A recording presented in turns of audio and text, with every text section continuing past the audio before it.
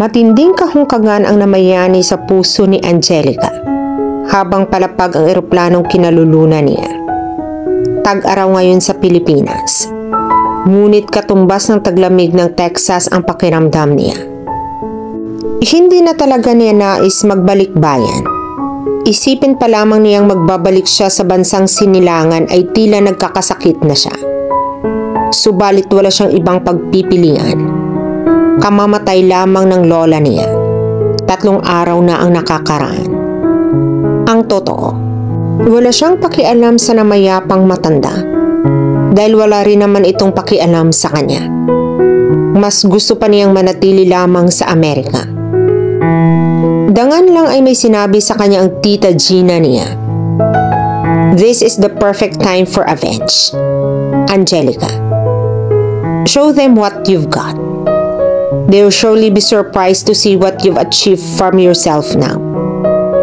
Kapatid sa ama ng papa niya si Tita Gina. Ito ang kumupkop at nag-alaga sa kanya. Pagkatapos maghiwalay ang mga magulang niya. Halos sampung taon pa lamang siya nang maghiwalay ang mga magulang niya. She thought it was for the best. Walang araw na hindi nag-aaway at nagsusumbatan ang mga ito particular na kung paano siya nabuo. Aksidente lamang daw na nabuo siya. Kung hindi raw nabuo ay hindi magpapatali ang mga ito sa isa't isa. Pero nagkaanak pa uli ang mga ito. Si Caleb, na mas bata ng limang taon sa kanya. Masasabi niya pareho lamang impyerno ang naranasan nilang magkapatid sa piling ng mga magulang nila Bagaman hindi niya ito nakitaan ng labis na pagkamuhi at sama ng loob ang mga ito. Isa pa, magilaw rito ang kanilang ama dahil lalaki ito. Sa katunayan, nakatira ito sa mga papa nila. Hindi ito sumama sa kanya sa pagtira sa Amerika. Nang maghiwalay ang mga magulang nila, ay sa poder ng daddy nila sila napunta Labing limang taong gulang na siya noon ng mga panahong iyon. Bangungot ang naranasan niya sa mansyon ng mga Sebastian. Bagaman hindi sila sinasaktang magkapatid ng lola nila, daig pa nila ang mga multo kung ituring nito. Walang nikatiting na amor sa kanila ang lola nilang si Doña Estrella Sebastian. Naroon din sa mansyon ang tiyahin nilang si Adora at ang dalawang anak na babae nito. Ang panganay ay halos kaedad niya at ang isa ay mas bata sa kanya ng dalawang taon. Hindi niya nakasundo ang mga pinsan niya. Labis na kinamumuhian siya ng mga ito. Ang pinakamasakit na bahagi ay ang katotohanang mas mahal ang mga ito ng kanyang ama at ng kanyang lola. Lahat ng dapat na para sa kanilang magkapatid ay nakuha ng mga ito. Ang mga salitang natatanggap niya sa mag-iina ay lubhang napakasakit. Kahit minsan, ay hindi man lamang sila nagawang dipinsahan ng daddy niya. He never really loved them. Habang lumilipas ang panahon, ay unti-unting tumitigas ang puso niya. Natuto siyang mamuhi ng gusto sa ama at sa lola niya ngunit higit ang pagkamuhi niya sa kanyang ina. Paano ay nakaya nitong tiisin silang magkapatid sa napakahabang panahon? Malamang ay may iba na itong asawa. Labing anim na taong gulang siya nang makilala niya ang tita Gina niya. Nang isang araw ay sorpresang bumisita ito sa mansyon. Isang hindi makakalimutang pangyayari iyon sa kanyang buhay. Iyon ang araw na halos ikamatay ng lola niya. Ang mga kontroladong imahe ng daddy niya ay naghula sa kauna-unahang pagkakataon. Si Tita Gina rin ang kauna-unahang taong nakita niya nakasupla kay Tita Adora. Tingala niya ito ng gusto dahil sa pagiging perpekto nito sa kabila ng katotohanang anak lang ito sa labas. Napakaganda at napaka-elegante nito. Perpekto sa lahat ng anggulo at aspeto. Naging palagay ang loob niya rito. Hanggang isang araw, ay sabihin nito ang kagustuhan nitong isama siya sa pagbalik nito sa Amerika. Sumama ka sa akin sa Texas, Angelica. Seryosong sabi ni Tita Gina niya. The older woman was always serious. Bakit po gusto ninyo akong isama, tita? Naguguluhang tanong niya bagaman nakadama siya ng kasiyahan. Iyon marahil ang katuparan ng pangarap niyang makaalis sa impyernong mansyon. Don't you want to go with me? Do you want to stay in that crop of a mansion the call home? Sunod-sunod na iling ang ginawa niya. Gusto ko pong sumama sa inyo, tita.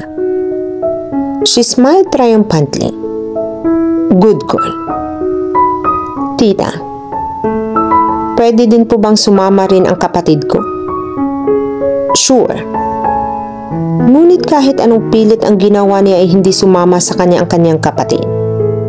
Wala siyang nagawa kundi iwan ito sa Pilipinas. Bagaman hindi sang-ayon, walang nagawa ang daddy niya sa gusto niyang mangyari.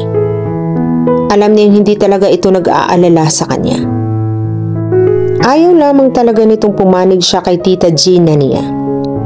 Sinabi pa nito na hindi na siya nito ituturing anak kapag umalis siya. That was 10 years ago. Hindi niya akalaing babalik ulit siya. Paglabas niya ng Ninoy Aquino International Airport, ay agad na tanaw niya ang isang placard kung saan nakasulat ang pangalan niya. Paglapit niya sa may hawak niyon, ay agad na bumati ito sa kanya. Where's the car? She asked coldly. Isa iyon sa mga natutunan niya sa tita niya kung paano ilagay ang sarili niya sa tamang level. It took her years to master it to perfection. Naroon po sa parking lot, ma'am. Saglit lang po at kukunin ko. Iniwan na siya nito. Pagkalipas ng ilang minuto ay dumating na ang sasakyan. Umangat ang isang sulok ng mga labi niya. Just like what her aunt had promised, it was a black Lamborghini. Makakaalis ka na. Pandidismiss niya sa driver. Isinakay ng driver niya ang mga bagahe niya sa isa pang kotse. Siya naman ay agad na sumakay sa bagong-bagong Lamborghini Then she drove straight to her destination. Huminto si Angelica sa tapat ng mansyon ng mga Sebastian. Kinuha niya sa loob ng Hermes bag niya ang compact mirror at sinipat ang sarili niya sa salamin niyon. She made her sure her best. Alas 7 na ng gabi. Napakaliwanag sa buong mansyon. Hindi na nakapagtataka dahil ang matriarka ng mga Sebastian ang namatay. Pagkapasok niya sa loob ay napatingin sa kanya ang halos lahat ng tao roon. She walked towards the coffin. She wore a black sexy double unit, mini dress with long sleeves. Labas din ang halos buong likod niya. Ramdam niya ang nakatitig ang lahat ng mga mata sa kanya. Pero wala siyang pakialam. Paglapit niya sa kabaong, ay tiningnan niya na walang buhay na katawan ng lola niya. Wala siyang maramdaman kahit ano. But she whispered a little prayer anyway. Pagharap niya, ay bumungad sa kanya ang daddy niya. Nag-aapoy sa galit ang mga mata nito. Mariing hinila siya nito sa braso. Anong klaseng iskandalo ito, Angelica? He asked. He was obviously trying to suppress his anger. Aren't you happy to see me? Father dear? She asked. She gave him her coldest smile. Natitigil lang napatitig ito sa kanya. Pagkakuan ay niningkit ang mga matang nagwika.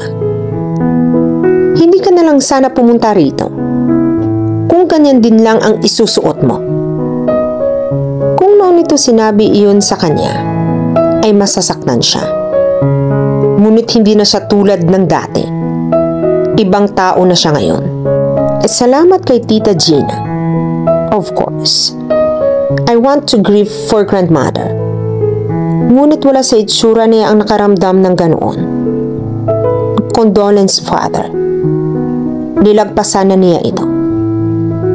Nasalubong niya si Tita Adora niya ang panganay na anak nito na si Leila. Nalilisik ang mga matang nakatingin ang mga ito sa kanya. She gave them a cold smile. It's nice to see you both. Wika niya at nilagpasan ang mga ito.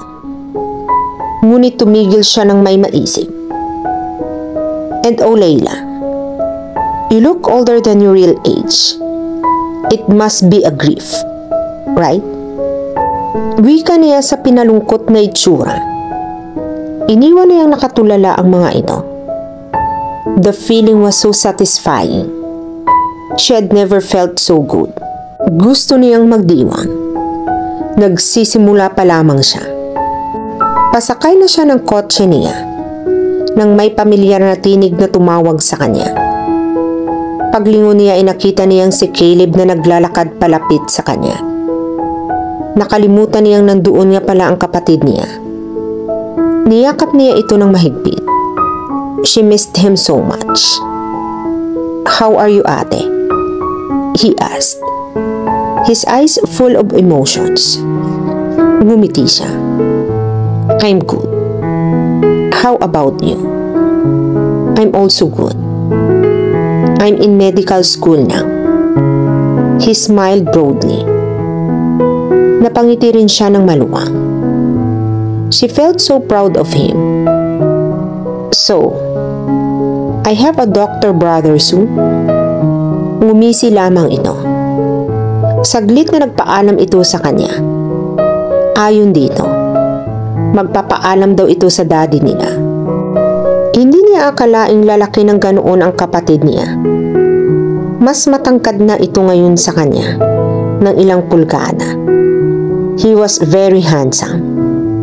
Noon lang niya napagtantong napakaraming panahon na pala ang lumipas. Ilang saglit pa ay nakasakay na ito ng kotse niya. This is a cool car. Excited na sabi nito. Umangat ang isang sulok ng mga labi niya. Marunong ka bang mag-drive? No. I never got the chance to learn. Isa pa. Wala namang kotse si mama sa Zambales. Mariing natapakan niya ang brake sa labis na pagkabigla. Tiningnan niya ito ng matamad. What did you just say?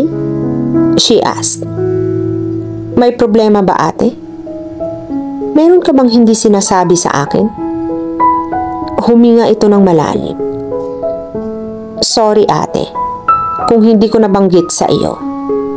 Wala tayo halos communication for last 10 years. Hindi na ako nakatira ngayon sa mansyon. Sa Zambales na ako nakatira, ng halos limang taon na. Pero tuwing weekend lang ako naroon. Nagbo-board ako malapit sa school ko sa Manila. Kung hindi lamang siya compose ng mga sandaling iyon, malamang ay nakareact na siya ng sobra. Paano nangyari iyon? He smiled. Nagpunta ako kay mama at syempre, tinanggap niya ako. Napanatili niyang blanco ang ekspresyon niya sa kabila ng labis na pagsiklab ng galit. You forgave her that easily? Malamig na tanong niya. Walang mangyayari kung patuloy akong magagalit sa kanya. Isa pa, hindi rin naman kagustuhan ni Mama ang mga nangyari. In fact, she loves us. Biglang tumigas ang ekspresyon niya sa narinig. If you say so. Nagawa pa rin niyang sabihin kahit pa naglalatang ang puot sa dibdib niya. Sumama ka sa akin sa Sambales pagkatapos ng libing ni Lola ate. Seryosong sabi nito pagkakuan. Hindi niya alam kung ano ang nagtulak sa kanya upang sumang-ayon sa gusto nito. Marahil ay ang kagustuhan niyang maipamukha sa kanyang ina kung gaano kalaki ang naging kasalanan nito sa kanya.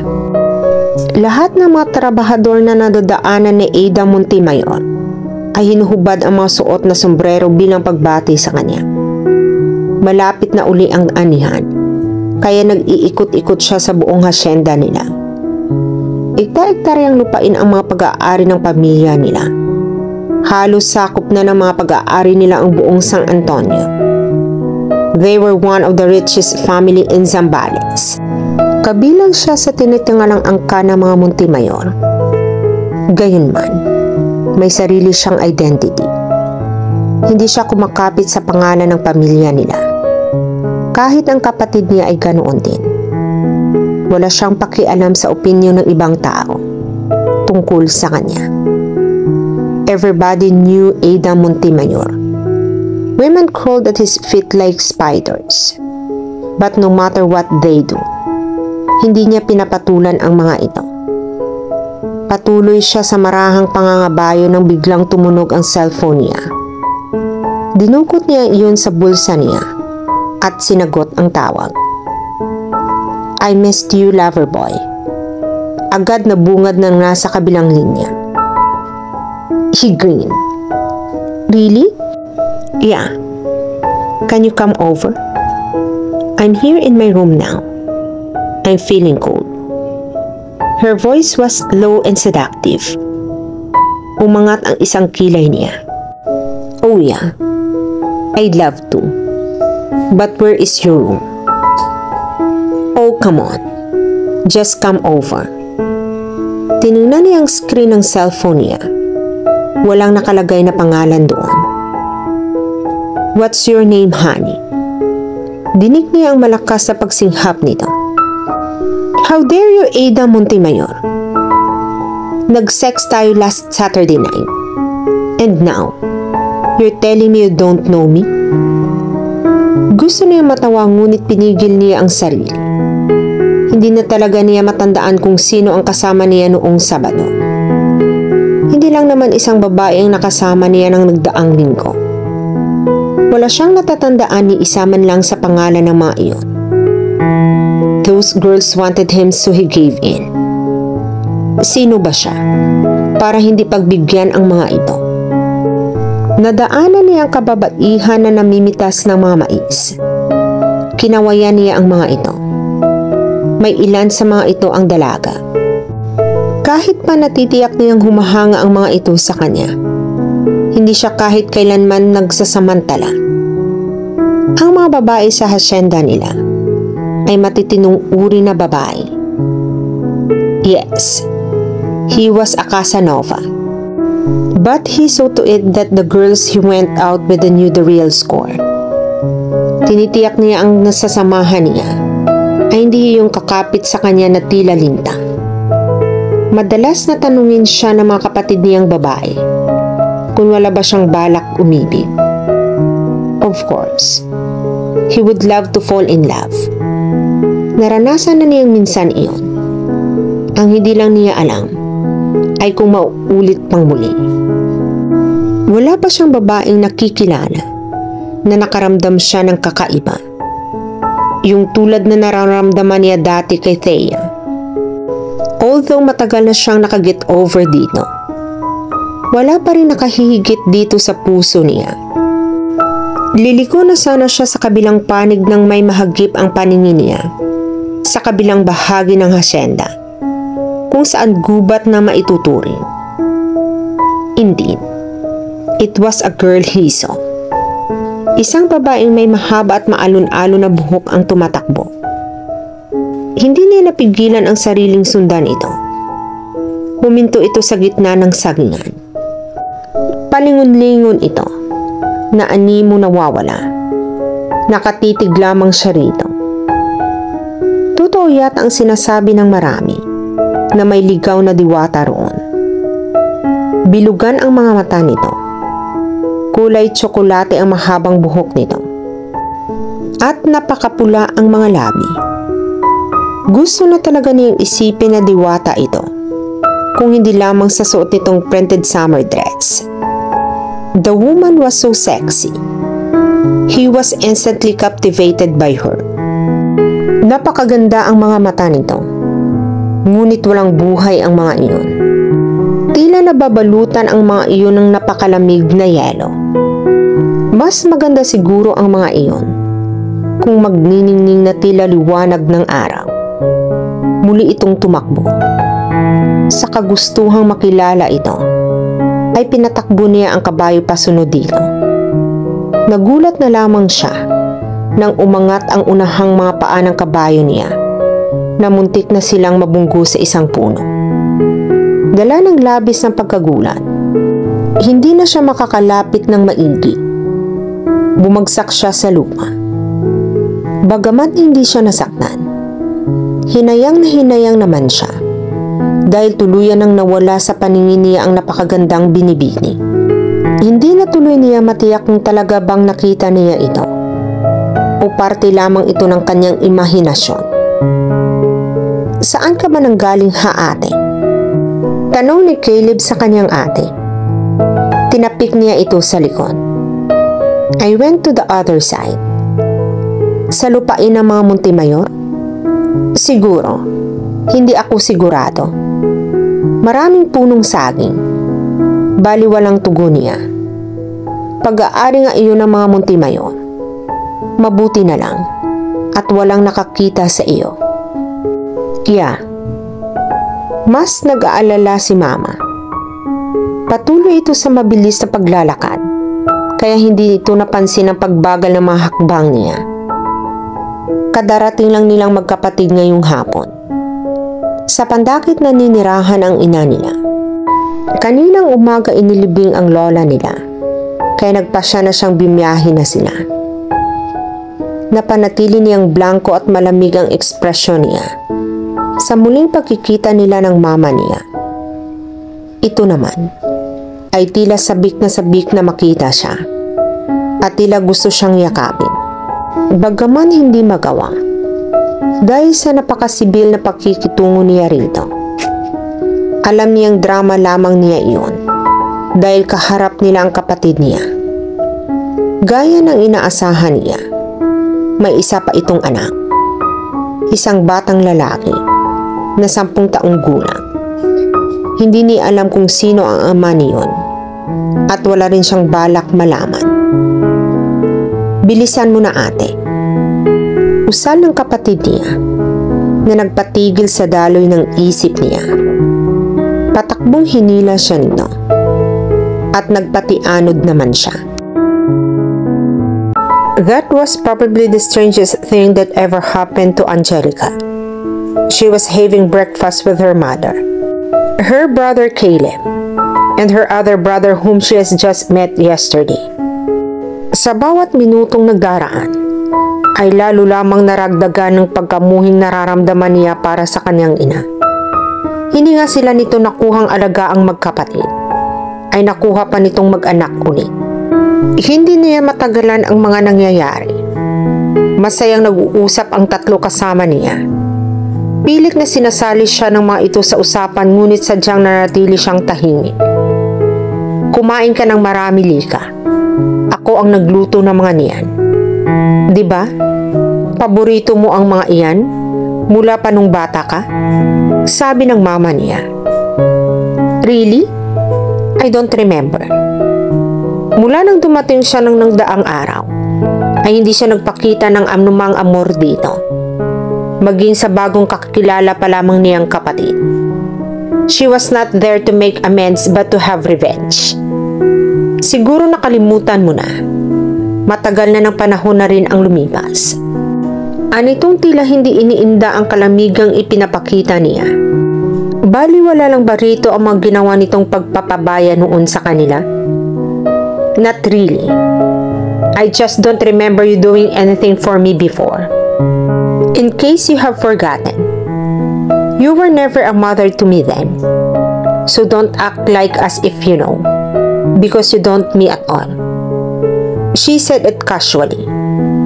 Natulala ito at si Caleb. Ang pinakabatang kapatid niya ay tila hindi gaanong naunawaan ang mga sinasabi niya. The guilt on her mother's face was priceless. She felt victorious. Ate, Tumayo na siya. I'm finished. Excuse me. Tuloy-tuloy siya sa backdoor na kadugtong ng dining area. Naantala ang akmang paglabas niya nang magsalita ang mama niya. Lika, saan ka pupunta? Why do you care? Please stop pretending that you worry about me. And please, stop calling me Lika. Labis na kinamumuhian niya ang palayaw na iyon na ito ang nagbigay noong bata pa siya. Natutuhan niya sa kanyang tita Gina kung paano magkontrol ng kanyang emosyon. Napaka-importante niyon, lalo na sa negosyo. Napakayaman ng tita niya dahil sa taglay nitong kahinahunan at katalinuhan. Napakarami niyang natutuhan dito. Natutuhan niya rito na sagaba lang sa pagtatagumpay ang emosyon. She spent 10 long years perfecting that. She succeeded. That's why she was where she was now. Wala nang maaaring makapanakit pa sa kanya.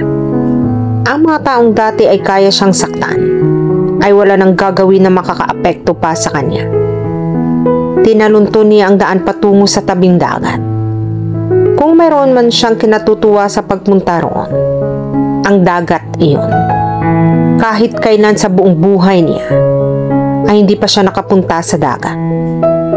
Ang dagat ang unang natanaw niya ng mga nagdaang araw. Pagpanahik niya sa kwarto niya. Sa kauna-unahang pagkakataon, mula nang muli siyang tumuntong sa Pilipinas, ay napagngiti siya ng tunay.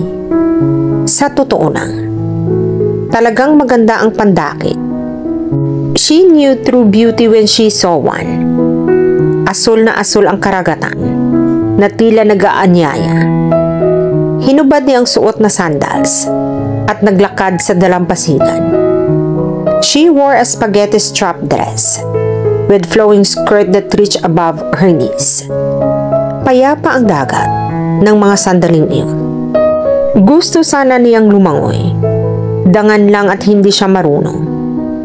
Nagkasya na lamang siya sa paglakad sa dalampasigan. Ilang saglit pa ay may natanaw siyang batuhan. Hindi naman gaanong mataas iyon, kaya umakyat siya. Pinili niyang umupo sa pinakamalaking bato na naroon.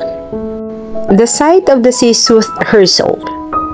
Ang nakikita niya sa telebisyon ay maaalong dagat, ngunit naiiba ang isang ito. Napakapayapa ng asul na dagat. Hindi niya alam kung gaano siya katagal na nakaupo roon. Napukaw lamang siya ng maramdaman na tila may nagmamasid sa kanya. Hindi nga siya nagkamali dahil may estranghero sa ibaba ng batuhan. Isang napakagwapong estranghero. The way he stared at her gave her goosebumps. Halos umabot na sa batok ang anong-anong buhok nito. May manipis na stubble sa panga nito. His deep-set almond eyes were as dark as the night, and his lips were red as cherries. Naglalaro sa mga labi nito ang isang mapanudyong ngiti. Tila ba alam nito ang pagsusuring ginagawa niya sa mukha nito? Kung tingnan siya nito, ay tila ba isa siyang napakagandang likhang sini. Napatayo siya. Hinagod dito ang tingin ang kabuuan niya na nagpaakyat ng lahat ng dugo niya sa ulo. Bababa na sana siya sa batuhan nang humangin ng malakas. Sa labis na pagkahuminding niya, ay halos umangat ang palda niya. She saw him grinned like a wicked pirate. Nakafocus ng husto ang paningin nito sa kanya, kaya natitiyak niyang nakita niya ang suot niyang pangilalim. A black skimpy underwear. Halos talunin niya ang batuhan para lang makalapit dito. At nang makalapit siya, ay isang matunog na sampal ang ipinadapo niya sa pisngi nito. Bagya siyang kinabahan. Nang humarap ito mula sa pagkakabiling ng sampal niya, there was a dangerous glint in his eyes. You want to be kissed? He asked with a sly smile. Nagsalubong ang mga kilay niya. What? If you want me to kiss you, all you have to do is ask. Ikinulong siya nito sa matigas na katawan nito at sinibasib siya ng halik sa mga labi.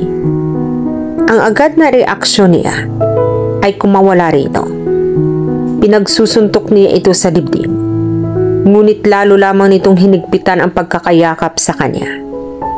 Halos hindi na siya makakilos. Reality struck her.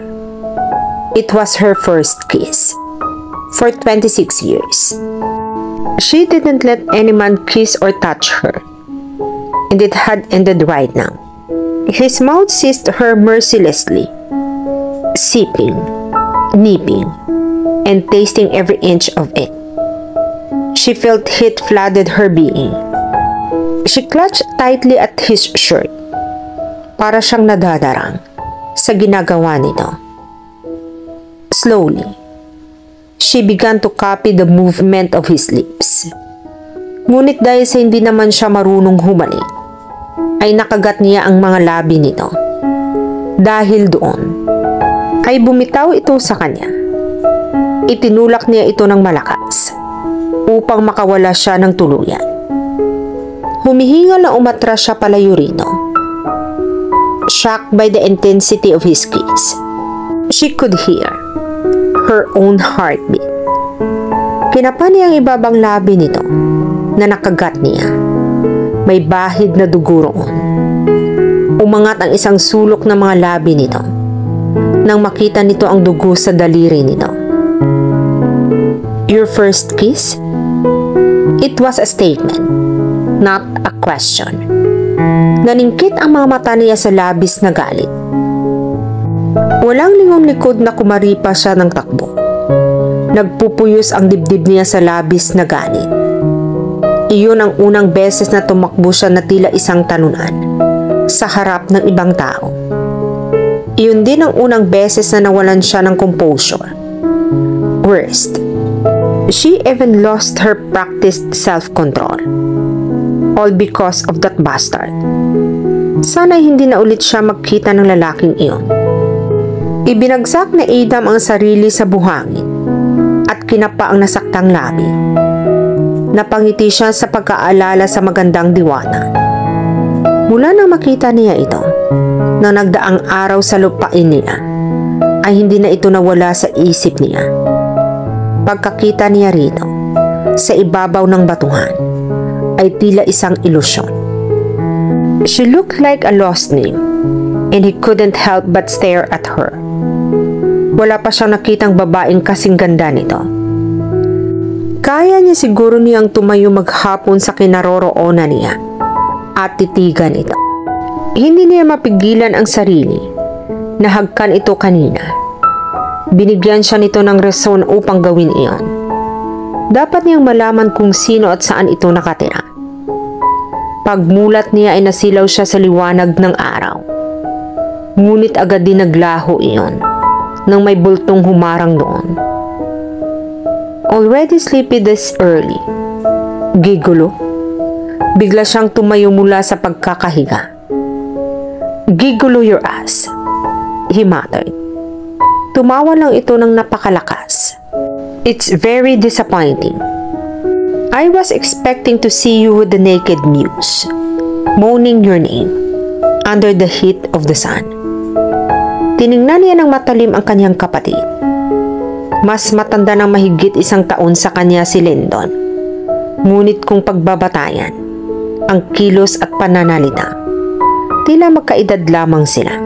Ayaw rin ito magpatawag ng kuya. Nakaisip siya ng ibabato rito. So what brings you here? Did Vanessa turn you down again? Brother? Nakakalukong tanong nito. Gusto nang gumulong sa buhangin sa labis na kasiyahan nang makita ang itsura nito. Tinalikuran siya nito ng walang paana. Well, same to you lover boy. Natatawang habol niya. Humihingal na pumasok si Angelica sa loob ng kabahayan at dumaretso sa kusina. Agad na nagsalin siya ng tubig sa baso at dire-diretsong ininom iyon. Nagpupuyos pa rin siya sa galit.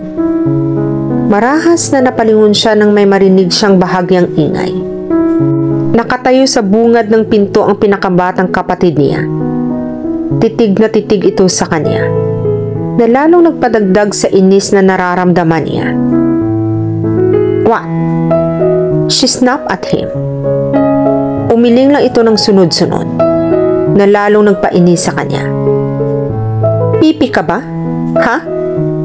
Umiling lamang ito bago nagtakbo palabas ng kusina. Halos kasunod ng paglabas nito ay ang pagpasok ng kanyang kapatid. Saan ka ba galing ate? Nagiging habit mo na lang yata ang nawawala na lang bigla. Tanong nito. Nagpahangin lang sa labas. Pasimpleng sagot niya. Noon ka nasabihin niya rito ang mga nangyari sa tabing dagat. Akala ko, nagpunta ka sa tabing dagat. Nanatiling blanco ang ekspresyon niya sa kabila ng pagsasal ng tibok ng puso niya. No, lumabas siya ng kusina. Ngunit sinandan siya nito. Lumabas siya patungo sa veranda at pumesto sa upuang kawayan. Hindi gaanong malaki ang bahay ng kanilang ina. Ngunit hindi rin naman iyon maliit. Mayroong tatlong kwarto iyon. Isa sa ibaba at dalawa sa itaas. May isang common bathroom. Ngunit ang kwartong ginagamit niya ay may sariling banyo. May dining area at living room din na maalwang kilusan ang kabahayan.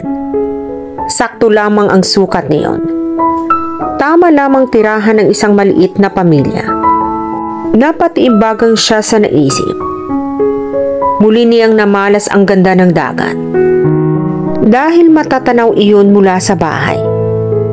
Hindi niya maiwasang mapanayuan ang balahibo pagkaalala sa nangyari kanina.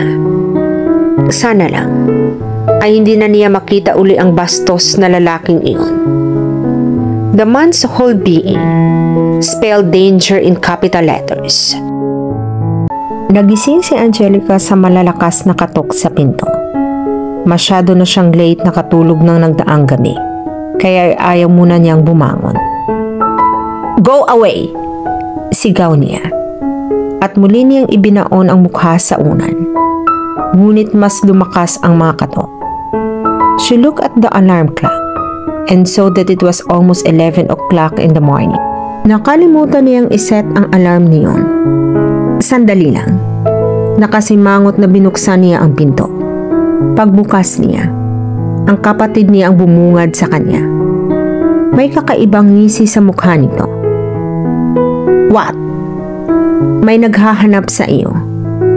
Kumunot ang noo niya. Sino naman ang maghahanap sa akin sa lugar na ito? I just arrived yesterday. Tell whoever it is to go away. Muli niya sanang isasara ang pinto. Ngunit itinukod nito ang magkabilang kamay roon. Basta ate, mag-ayos ka na. Tapos bumaba ka na kaagad. Umalis na ito bago pa siya makapagprotesta. Sino naman kaya iyon? Kahit anong isip ang gawin niya, ay hindi talaga niya mahulaan kung sino ang naghahanap sa kanya. Mabilis na naligo siya at nagbihis. Pagbaba niya, ay walang tao sa sala. Ngunit naririnig niya ang malalakas na tawanan mula sa balkonahe. She composed herself before walking outside. Tila niyanig ang mundo niya nang magkasalubong ang paningin nila ng lalaking may napakaitim na mga mata. Ito ang lalaking naghalik sa kanya sa dalampasigan ng nagdaang araw. The one who gave her her first kiss. She used all her might to remain flat and black. Hinagod niya ito ng walang interes na tingin bago siya bumaling kay Caleb. Who's looking for me? Tanong niya. Bagaman ay may ideya na siya kung sino. Ininguso nito ang lalaking malawak ang pagkakangiti. Muli niya itong tinapunan ng walang interes na tingin. Giving him the freedom to say what he wanted from her. Good morning, beautiful. Or should I say, good afternoon. He smiled seductively at her. She would not give him the happiness of giving it into his seduction. Hindi pa rin siya nagpakita ng anumang emosyon. What can I do for you? She asked coldly. Unti-unting nabura ang mga ngiti nito sa mga labi. Napalitan iyon ng panunuri. Binibisita kita. Hindi kita kilala. Namula ito sa pagkahiya dahil sa tahasang pagtanggi niya. She felt triumphantly.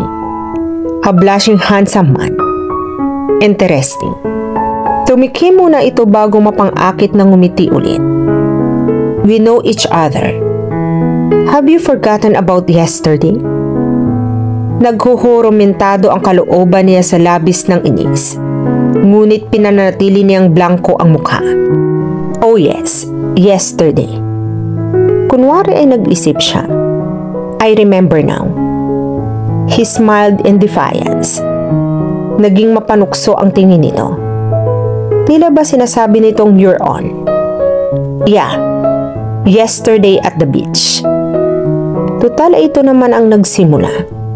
Hinding-hindi niya ito uurungan. Hinahamon siya nito. Kaya dapat lang napangatawan nito. Tiyak naman na hindi ito makakapagsabi ng kahit ano sa harap ng mama at mga kapatid niya. Kahit pa sabihin nito, ay wala pa rin siyang pakialam. Yeah, absolutely. We got along so well yesterday. She even showed him her most cynical smile. Sinigurado niyang mas malamig pa iyon sa yelo ng Antarctica. Tuluyan nang nabura ang ngisi sa mukha nito. Napalitan iyon ng bahagyang pagdidilim ng mukha nito. Di ba? Sabi mo kahapon? Ate, hindi ka nagpunta sa dagat. Sabat ni Caleb. Natigilan siya. Napangiti ang impertinenting estranghero. Nakalimutan siguro ng ate mo, young man. Lalo siyang nagkalaiti sa sinabi nito. Dito ka naman ang halian, Sir Adam. Lumipat ang tingin niya sa mama niya at siya ang nag-alok dito. Sir Adam? Muling bumalik ang paningin niya rito. Ngunit nasa mama niya ang atensyon nito. Adam na lang po. He smiled softly. Nakakahiya naman kung dito pa ako makikikain. He looked boyishly charming. Nako, walang kaso iyon sir. Ah, Adam pala. Oo nga naman kuya Adam. Dito ka na lang kumain. Kwentuhan mo pa kami tungkol sa mga alaga ninyong kabayo sa hasyenda ninyo. Ang bunsong kapatid niya ang nagsalita. Pati ang kapatid niya ay nakikuya na rin dito. Sige na Kuya Adam. Interesado talaga kaming malaman ang mga bagay-bagay tungkol sa hasyenda ninyo. The sly smile was on his face once again when he looked at her. She silently gritted her teeth. Magkasabay na naglalakad sina Angelica at Adam. Nagkusa si Angelica na ihatid ito palabas ng bahay nila. Hindi dahil sa kung anuman kundi dahil sa nais niyang malaman kung ano talaga ang gustong mangyari nito. Sa buong pagkain nila ay dito lamang umikot ang usapan. Walang ginawa ang mga kapatid at mama niya. Kundi tanungin ito ng mga tanungin tungkol sa hasyenda na pag-aari ng pamilya nito. Marami tuloy siyang nalaman tungkol dito hindi pala ito basta-bastang tao. Kabilang ang pamilya nito sa pinakamapangyarihan sa buong bayan at malamang ay maging sa buong Zambales. And his name was Adam Montemayor. I will be frank with you, Mr. Montemayor. Adam. Just call me Adam Lika. Don't call me that. My name is Angelica, not Lika. Okay. Natatawang wika nito. Angelica is it. She lost it again. Only this man could make her lose her composure and seriousness. What do you really want? She asked in her most serious tone. Huminto ito sa paglakad at namulsa. Hindi ko rin alam. What a really good answer. Tumitig ito ng diretsyo sa mga mata niya. I don't know what happened to me that day when I saw you running in the forest. All I know is that I want to erase the coldness in your eyes. She gave him a lopsided grin. Very touching. Sorry, I didn't bring my hankies. Hindi man lang ito natinag sa pagtitig sa kanya. She also saw tenderness in his eyes. But, it wouldn't work. Hindi siya madadaya kahit kailan ng mga ganoong klasing tingin. Maraming lalaki na ang nagsabi sa akin niyan. Think of something original next time. Tatalikod na sana siya nang pinigilan siya nito sa braso. I'm serious, Angelica. I'm going to break the ice that surrounds you. Muli niya itong ninitian bago niya inalis ang pagkakahawak nito sa braso niya. Kumaway siya rito mula sa likod habang naglalakad pabalik na sa bahay niya. Alam niyang sinusundan pa rin siya nito ng mga tingin. Dumiretsyong umakyat siya sa kwarto niya at nanungaw sa labas ng bintana. Papalayo na ang motorsiklo na sinasakyan nito. Hindi niya mawari kung bakit parang nag echo sa isip niya ang sinasabi nito. I'm going to break the ice that surrounds you. Hindi niya maaaring madistract ang totoong dahilan ng pagparoon niya. Umaalingaw-ngaw sa isip niya ang mga sinasabi ng tita niya. If you show emotions towards other people, they'll surely hurt you. It's like giving them the license to break you over and over. Tumigas ang anyo niya. Isa lang ang natatanging dahilan ng pagbalik niya para makaganti at para maipakita sa mga ito kung ano ang kaya niyang gawin ngayon. Napapikit siya sa biglang pagdaloy ng mga alaala. Hindi mo na lang sana ako binuntis. Kung hindi mo rin lang naman pala kayang mabuhay nang wala ang mga karangyaan. Tila sumisingasing na leon ang papa niya nang magsalita ito. Sa akala mo ba ay kagustuhan kong mabuntis kita? Alam kong hindi kita mahal. Kahit anong pagtatakip ng tenga ang gawin niya, ay naririnig pa rin niya ang mga ito. Hindi na rin kita mahal dahil nakita ko kung anong uri ng pagkataong meron ka. Halos limang taon pa lamang ang kapatid niya. Dalawa silang naging anak ng mga ito. Ngunit walang pakialam ang mga ito sa nararamdaman nila, lalo na niya. Paglipas pa ng ilang taon, ay tuluyan nang nagpasya ang mga ito na maghiwalay. Ang mama niya ay sa Zambales na nirahan, samantalang ang papa niya ay isinama silang magkapatid sa muling pagbabalik nito sa mansyon nila. Sorry papa, hinging paumanhin niya habang maluha-luha sa pagkakatayo. Pulos yan na lang ang naririnig ko sa iyo, Angelica. Pare-pareho kayo ng nanay mo. Kailan ka ba matututo? Punong-puno ng galit at kalamigan ang mga mata nito sa pagkakatitig sa kanya. Inutusan siya nitong ihatid ang isang papeles sa opisina. Ngunit hindi niya iyon naihatid ng eksakto sa oras. Hindi niya magawang mag-angat ng paningin. Dalawang uri lang ng emosyon ang ipinapakita nito sa kanya sa tuwina. Galit at kalamigan. Siguradong sinadya niya iyon Kuya Rinaldo. Ang tita Adora niya ang sumabat sa usapan nilang mag-ama. Kasalukuyan silang nasa library ng mansyon at sumunod ino. Nagpakayuko-yuko siya ng husto. Lumabas ka na Angelica. Utos nito. Sa harap ng hapag ay iyon pa rin ang paksa ng usapan nang binuksan ng tita niya. Wala lang talagang malasakit sa negosyo ng pamilya si Angelica. Hindi ba mama? Tiningnan siya ng lola niya. Gaya ng dati, ay walang emosyon ang tingin na ipinukol nito sa kanya. Wala namang kahit anong dapat asahan sa kanya. Hindi lingid sa kanya ang pagtitimpi ng kapatid niya na nasa tabi niya. Kaya kami ang magmamana ng negosyo ng pamilya. Right, Lola? Si Leila iyon. Isang masuyong tingin ang ibinigay rito ng lola niya. But of course, iya.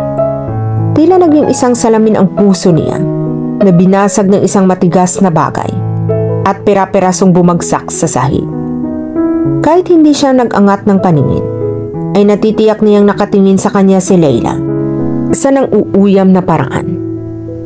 Napakurap siya ng ilang ulit kung noon ay napapaluha siya sa tuwing maalala iyon. Ngayon ay lalong nadadagdagan ang pagkamuhi niya sa mga ito. Marami siyang dapat singilin sa mga ito. Hindi lamang sa mga magulang niya. She excitedly walked outside the mansion. Diretso ang mga hakbang niya patungo sa garden.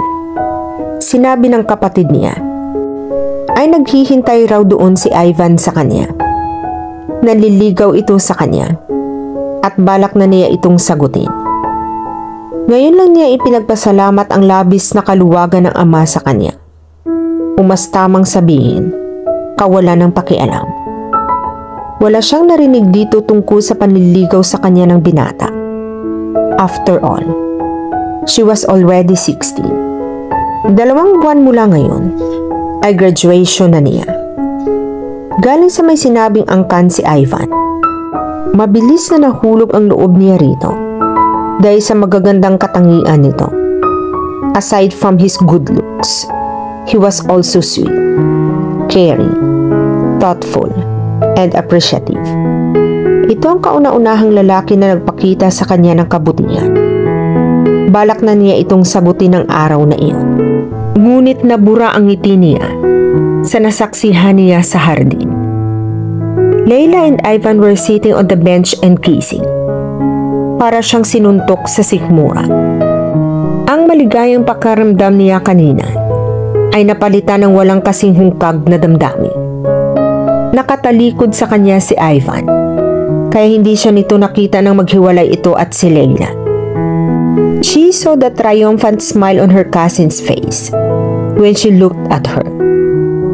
Bago pa siya mapabulalas ng iyak, ay tumakbo na siya pabalik sa loob ng mansyon.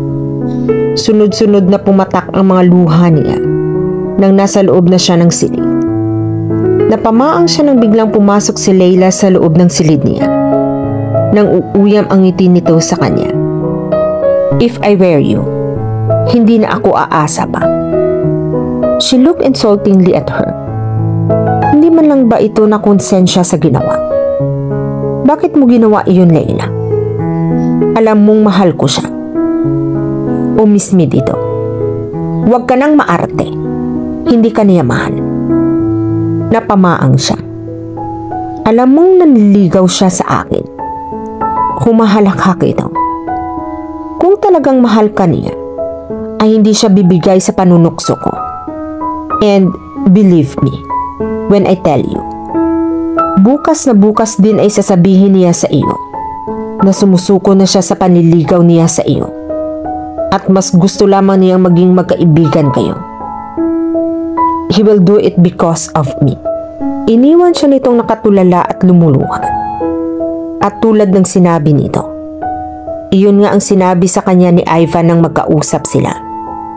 Pagkalipas ng ilang araw, ay magkasintahan na ang dalawa.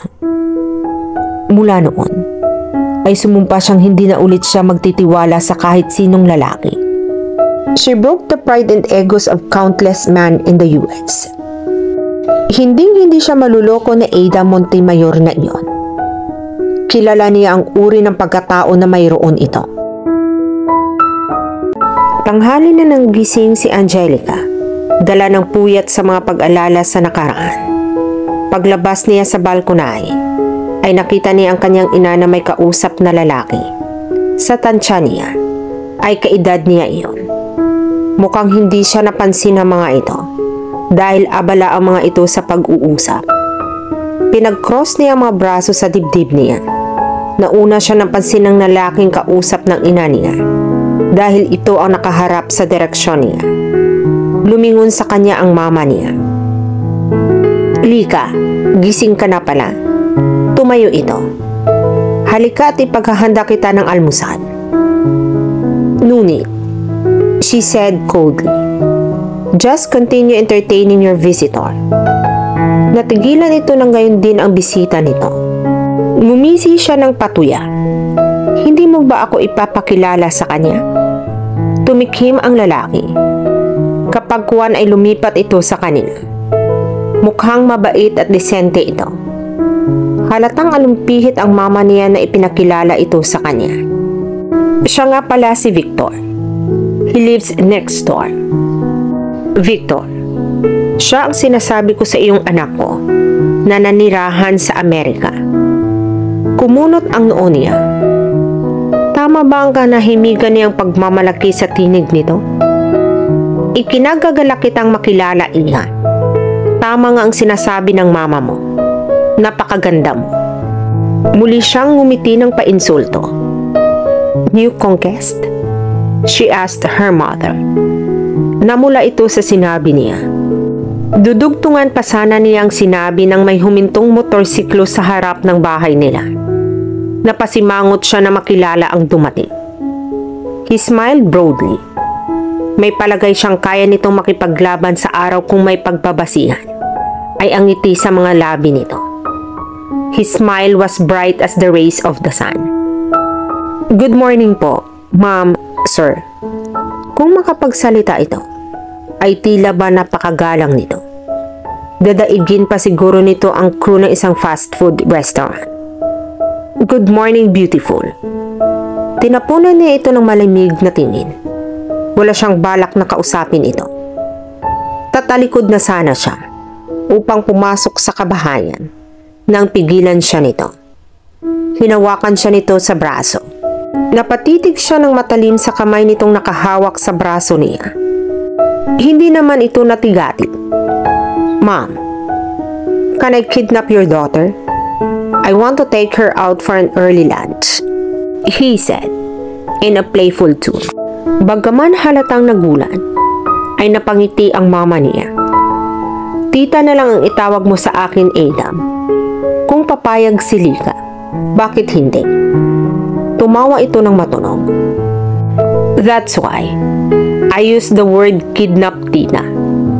Kumindat pa ito sa kanya bago siya hinila pababa ng balkonahe. Gusto niyang magprotesta, ngunit mahigpit ang pagkakahawak nito sa kanya. Pilit na pinaangkas siya nito sa likod nito. Kumaway pa ito sa mga nasa balkonahe Ayaw sana niyang humawak dito, ngunit pinaharurot nito ng mabilis ang motorsiklo. First time niyang sumakay sa motorsiklo, kaya kinakabahan siya ng husto. Mariing nakakapit siya sa magkabilang gilid ng baywang nito. Inilapit niya ang bibig sa tenga nito. Saan tayo pupunta? Tanong niya. Just wait and see. Sagot nito ng malakas ng tingin. Nahimigan niya ang tinig nito ng kasiyahan. Kaya saan naman? Can you slow down a bit? Pasigaw na sabi niya. Tila lalo pa nitong binilisan ang pagpapatakbo. Kaya napayakap na siya ng tuluyan sa baywang nito.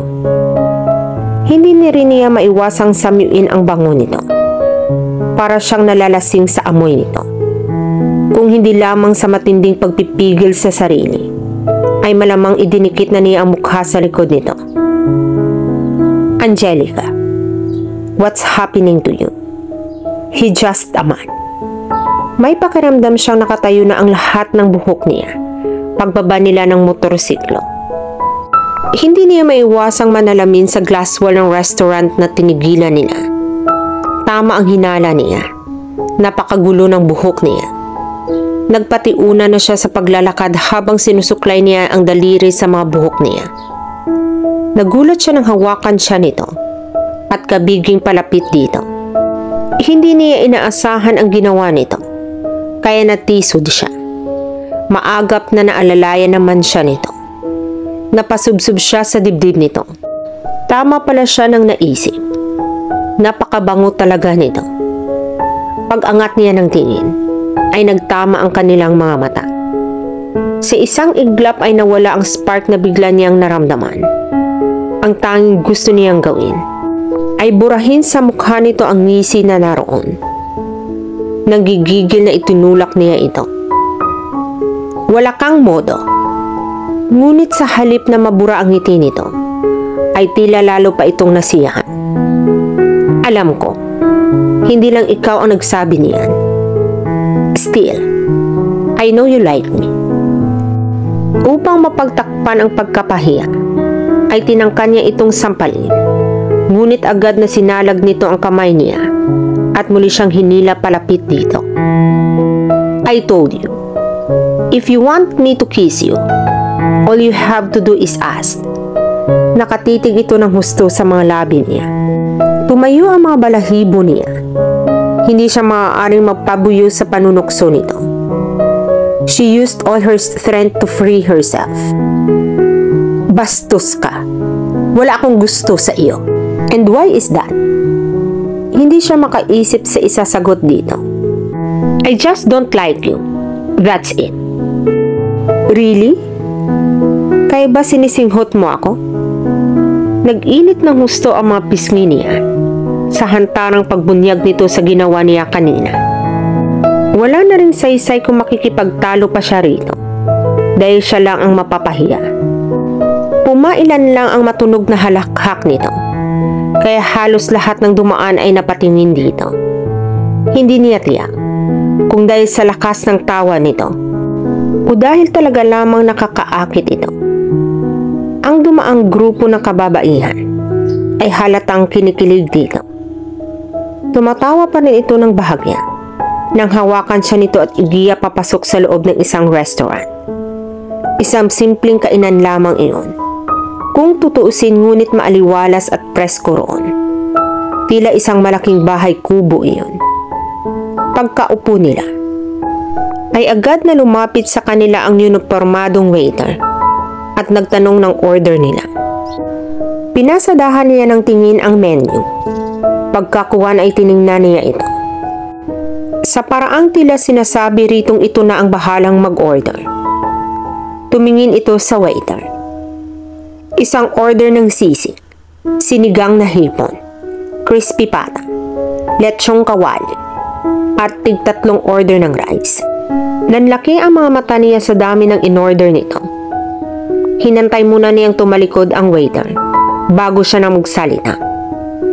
May iba pa bang darating? No, just the two of us. Casual na saad dito. Bakit ang dami mong in-order? Tatlong order ng kanin?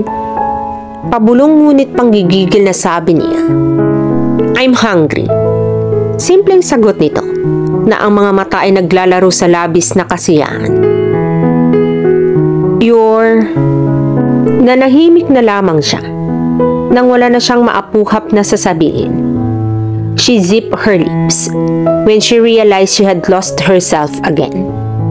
Hindi talaga siya dapat sumama sa lalaking ito. Mukhang may naiisip ng kalokohan ito sa klase ng pagkakangiti nito nangumbaba ito sa harap niya. Nakatukod pa ang mga siko nito sa mesa. Nag-iwas siya ng tingin. Ngunit alam niyang nakatitig ito sa kanya. Pilit na inignora niya ang titig nito na nanonood sa kaibuturan nito ngunit tila naman siya mababaliw.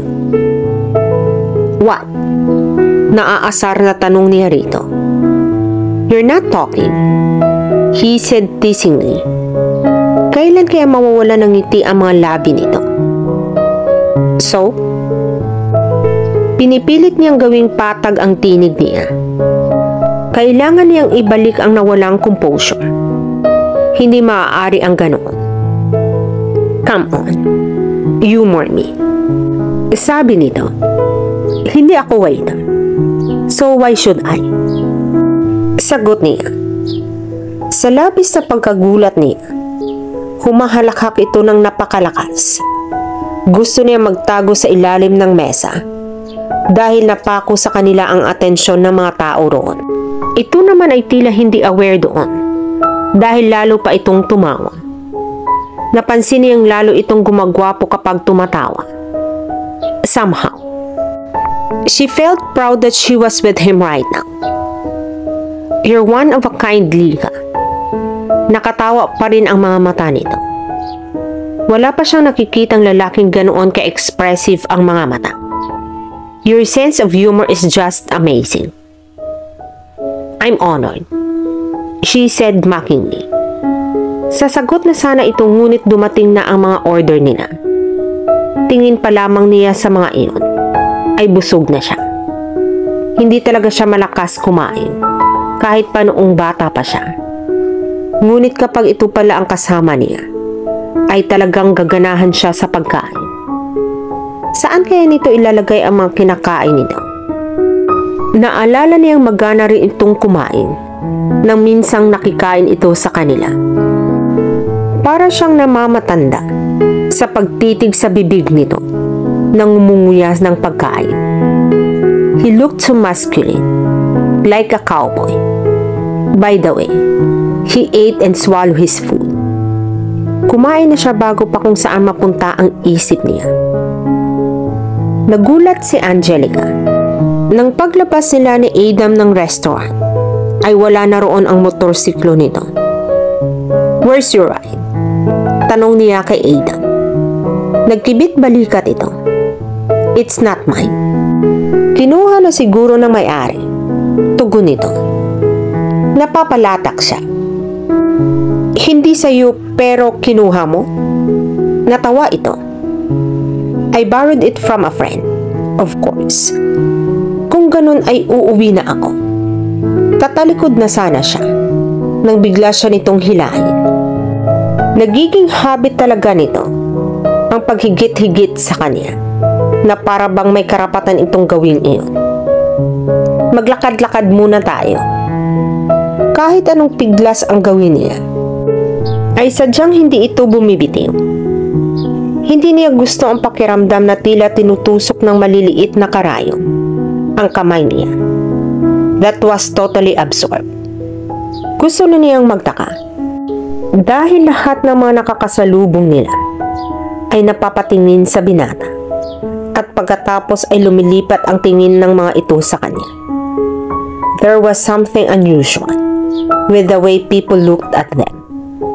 Bakit mo pa talaga ginagawa ito? Ha, Ada. Tanong niya nang hindi na siya makatiis. Kumislap ang mga mata nito at pagkakuan ay huminto sa paglalakad. It's nice to hear you call me my name. Tila kilig na kilig ang itsura nito. Goodness! Ano ba talagang gustong mangyari ng lalaking ito? Hindi mo sinasagot ang tanong ko. Ano bang tinatanong mo? Napabuga siya ng hininga sa labis na frustration. Ano ba talaga ang plano mo? Hindi ba masyadong maaga para dyan? Wala talagang plano magseryoso ang lalaking ito.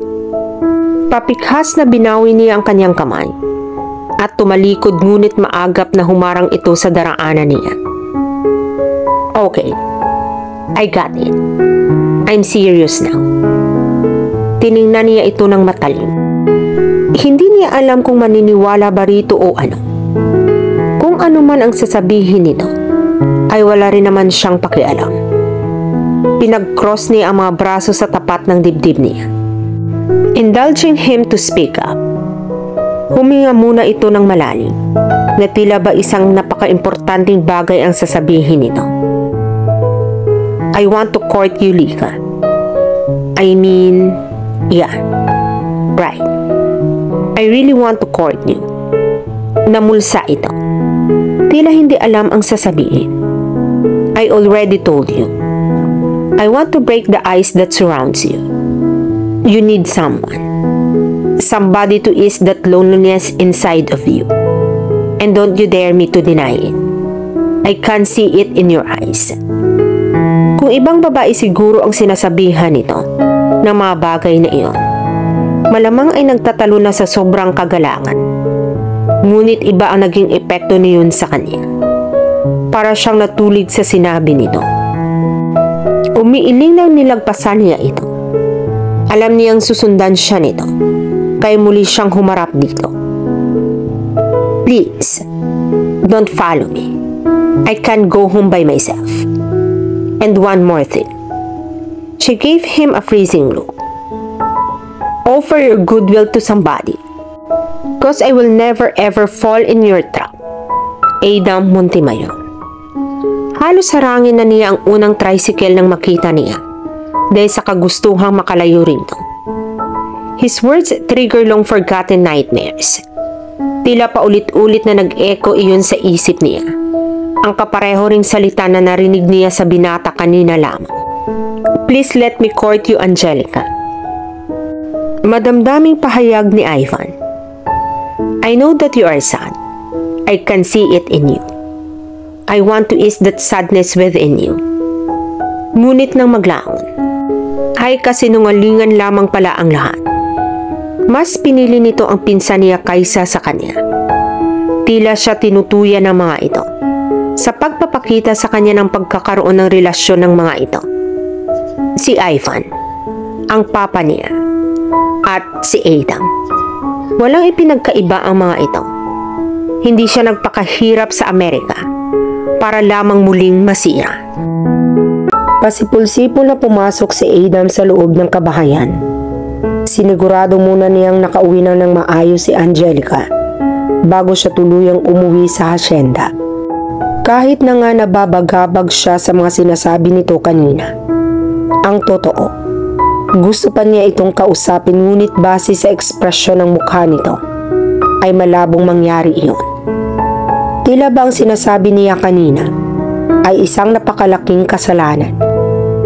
Paakyat na siya na hagdan nang marinig niya ang tinig ng panganay na kapatid niya.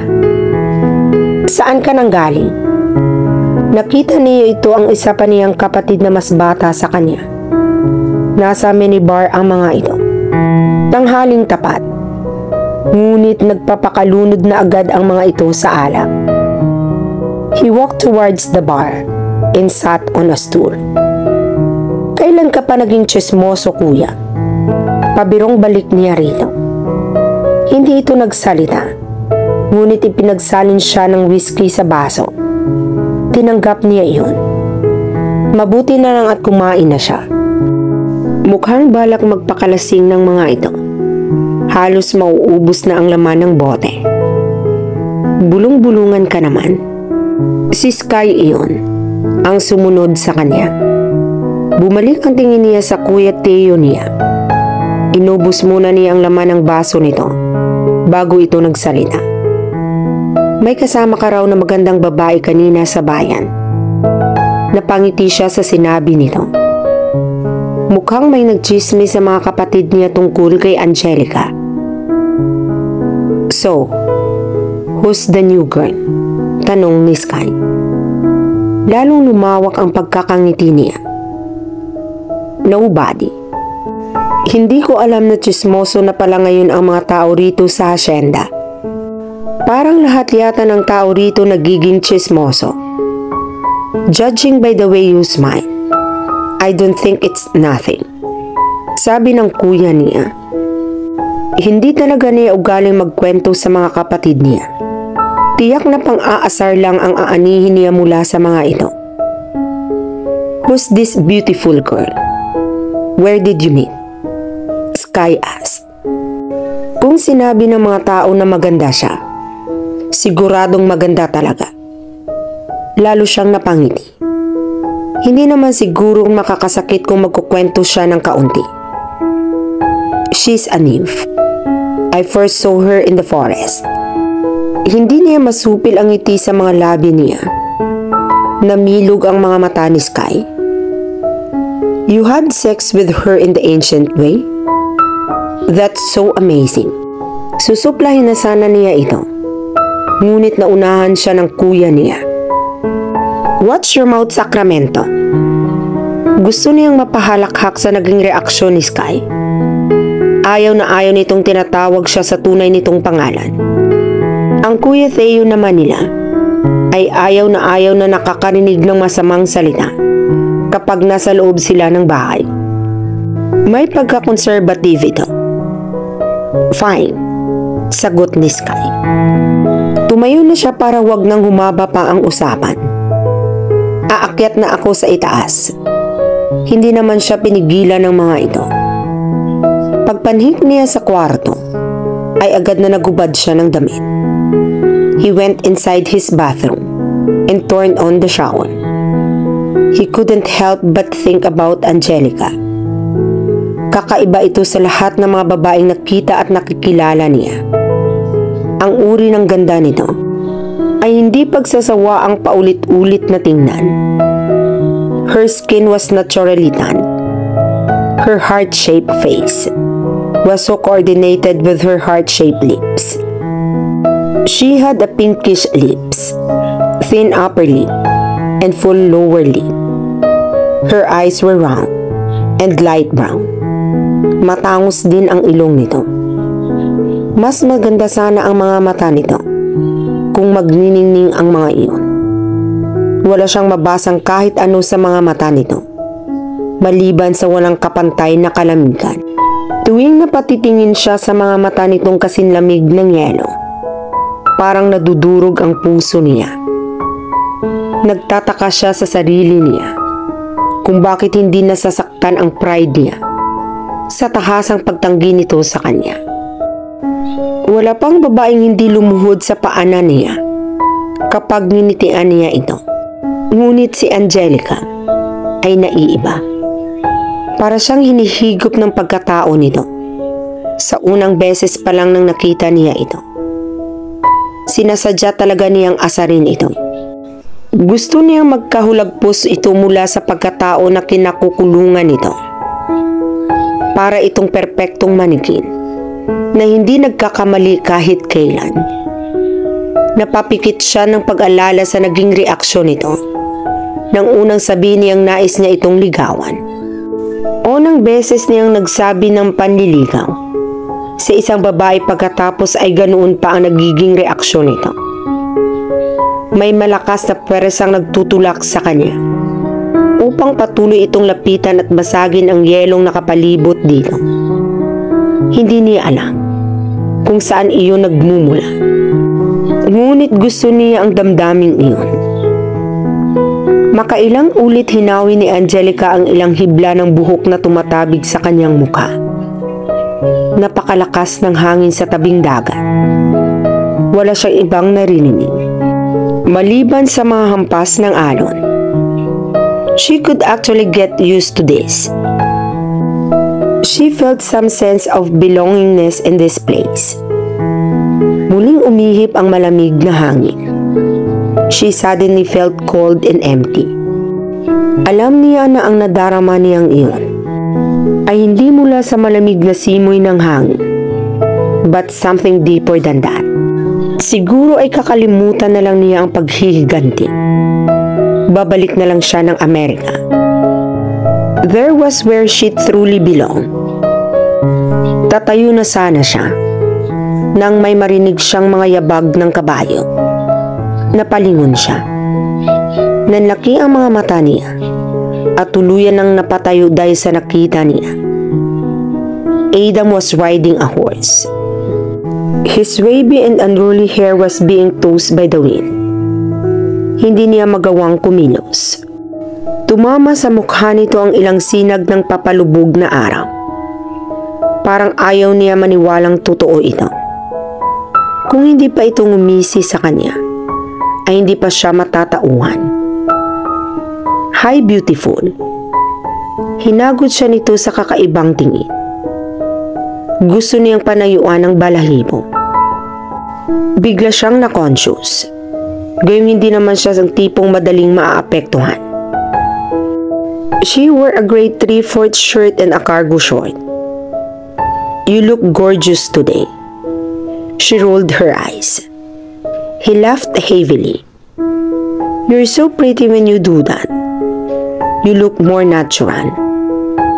Sasawatahin sana niya ang sinabi nito. Ngunit agad nitong dinugtungan iyon. Why did you wear that kind of shorts?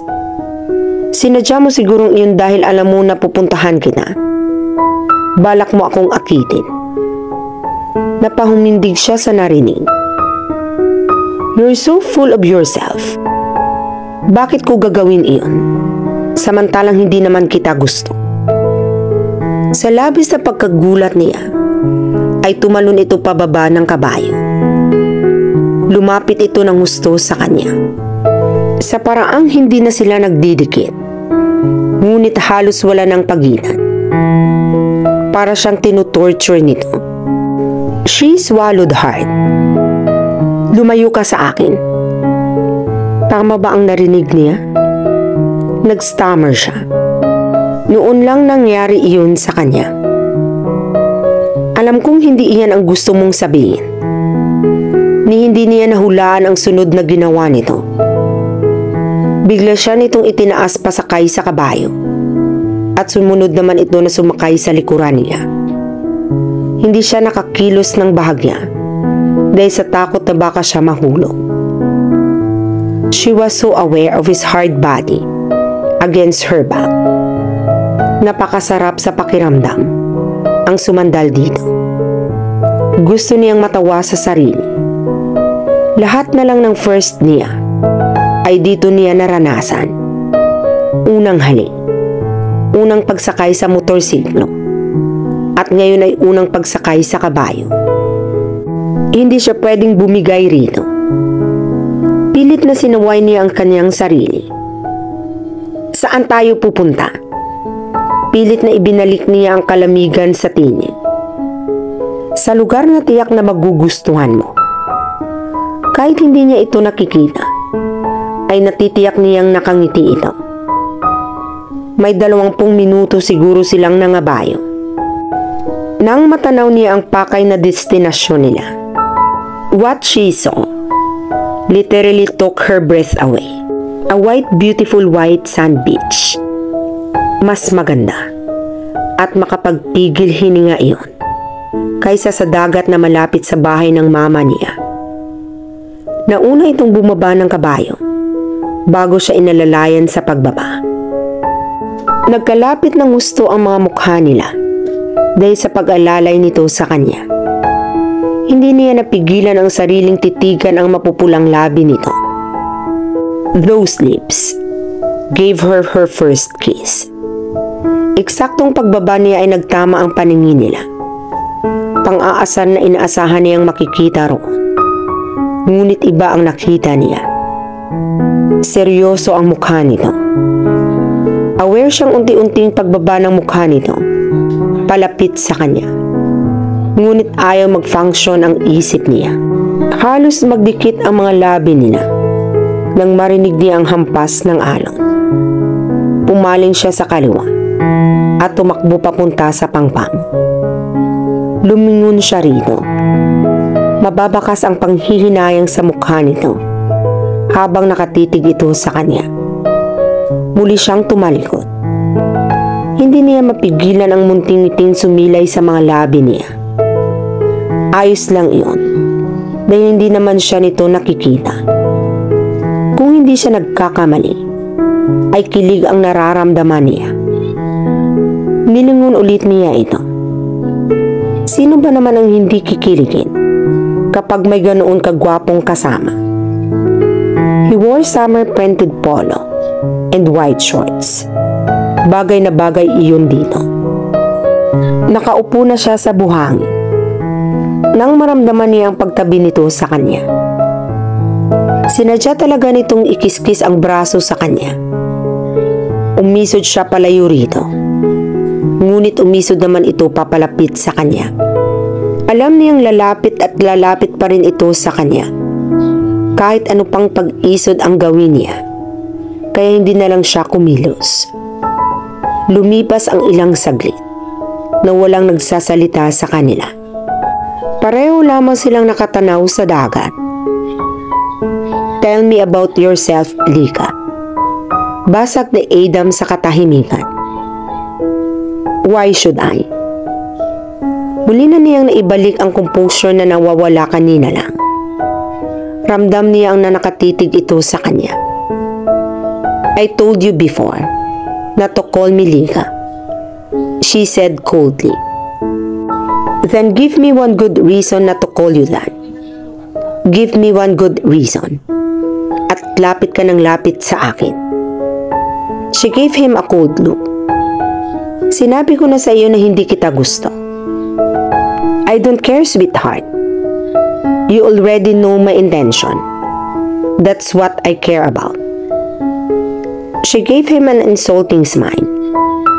Kung talagang hinahamon siya nito, pagbibigyan niya ito. Sisiguraduhin niyang dudurugin niya ang ego nito. Okay. You want me to play games with you? Let's play your game then. She said casually. Kumunot ang noo nito. What does that mean? Well, let's see the courtship that you're talking about. Biglang nagliwanag ang mukha nito. Really? Yeah. Ang kasiyahan sa mukha nito ay kabaliktaran sa kalamigan ng mukha nito. Tumitig ito ng mataman sa kanya. Let make myself clear first, sweetheart. I'm not playing games with you. Whatever. Hindi tumitingin ditong wika niya. She was afraid to look at his eyes and say something that would make her believe him. You know what? You're so perfect. Too perfect. In fact, he commented. Nagkibit balikat siya. Isn't it good? Tanong niya rito bahagya pang inangat ang mukha. Actually, no. Tila baliwalang sagot nito. Literal na napanganga siya. How dare you? Parang tinangay ng hangin ang self-control niya. Tila hindi naman ito natigating. You're the most beautiful woman I ever seen in my entire life. Tila naglalago sa kaluluwa niya ang mga mata nito. Pero sa sobrang perpekto mo, ay parang hindi ka na tao. Tumayo ito at ngumiti ng pagkatamis-tamis. You need to become human again. Hinila siya nito patayo. Napasigaw siya sa labis na pagkagulat. Nang pasanin siya nito na tila sako ng bigas. Kahit anong pagsigaw ang gawin niya, ay hindi siya nito pinakinggan. Nagtatakbo ito patungo sa dagat at hinagi siya sa tubig. Nagpapasag siya na tila isda. Nang makatayo mula sa tubig, ay biglang humangin ng malakas. Ang inaasahan niyang maramdaman ay ang mga damdamin na nararamdaman niya kanina. Dulot ng lamig ng hangin Ngunit kabaliktaran iyon ang nararamdaman niya ngayon. She felt happy and alive. Tawa ito ng tawa habang nakatingin ito sa kanya. May naisip siyang kapilyahan. Kung waring hindi siya tumingin dito at kunwari ay aaho na sa tubig, nagtagumpay naman siya dahil lumapit ito sa kanya. Hey, pukaw nito sa kanya. Pagharap niya rito, ay ito naman ang itinulak niya sa tubig. Dahil sa hindi nito inaasahan ang ginawa niya, ay bumagsak ito sa tubig. Tuwang-tuwang nagtatalon siya. Ngunit naputol ang tawa niya nang higitin siya nito sa mga paa. Pakiramdam niya ay lumubo ang tiyan niya dahil sa mga nainom niyang tubig dagat pero wala siyang maramdamang pagkaasar o inis dito. Para silang mga batang naghahabulan at nagbasahan habang papalupog ang haring araw.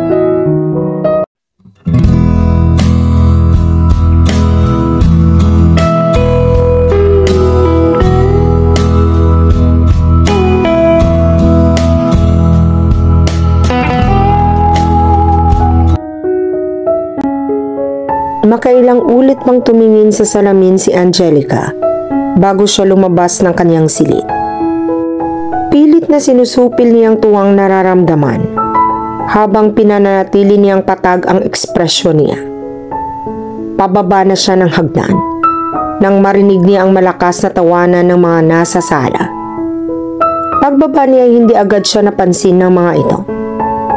Naroon ang mama niya at ang bunsong kapatid niyang si JV. Wala roon si Caleb. May pasok ito. Tama na kasi mama. Si JV iyon. Nagtagis ang mga bagang niya na nakita. Naghaharutan ang mga ito.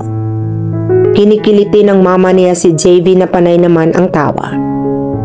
Natigil lamang ang paghaharutan ng mga ito nang mapansin siya.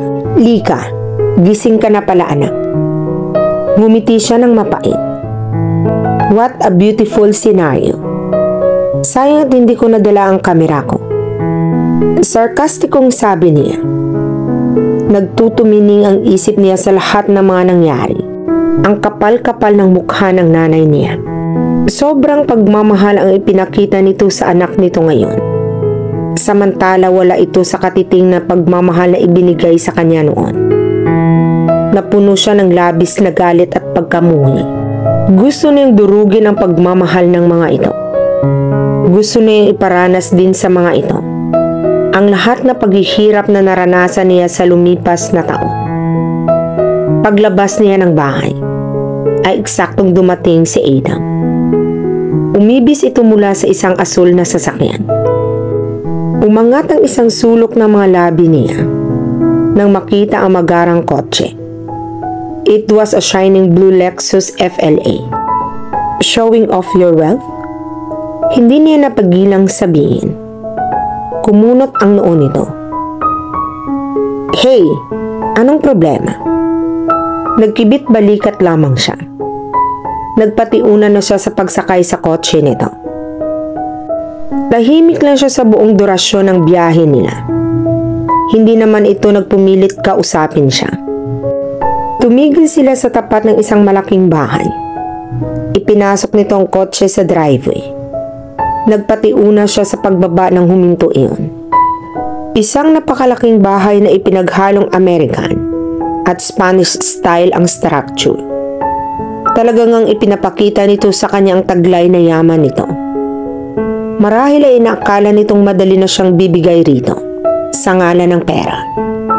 Nagkakamali ito ng akala dahil marami rin siya niyon. Humarap siya rito upang suplahin ito nang may lumabas sa gilid ng bahay ng isang lalaki, natansya niya ay matanda rito ng ilang taon. Nagkamay ang mga ito bago lumipat sa kanyang tingin ng lalaki. Hindi mo ba ako ipapakilala sa magandang binibining kasama mo? This is Angelica. Babe, this is Yon, a good friend of mine. Gusto sana niya itong sabayin sa paggamit ng endearment ngunit naunahan siyang magsalita niyon. It's nice to finally meet my friend's girl. I hope your relationship will last. Bagaman wala naman mali siya sa pagkakasabi nito, ay hindi pa rin niya nagustuhan iyon. Tinanggap niya ang pakikipagkamay nito nang hindi ngumingiti. Nakasanayan na niya na hindi ngumiti sa mga bagong kakilala. Ilang saglit pa na nag-usap ang mga ito tungkol sa kotse na pag-aari pala niyon. Si Adam lamang pala ang pinakaiusapan nito na mag-drive test. Gusto niyang mahiya sa sarili sa mga iniisip niya kung ano-ano tungkol dito kanina. Paglabas nila ng gate, ay agad na hinawakan siya nito sa kamay.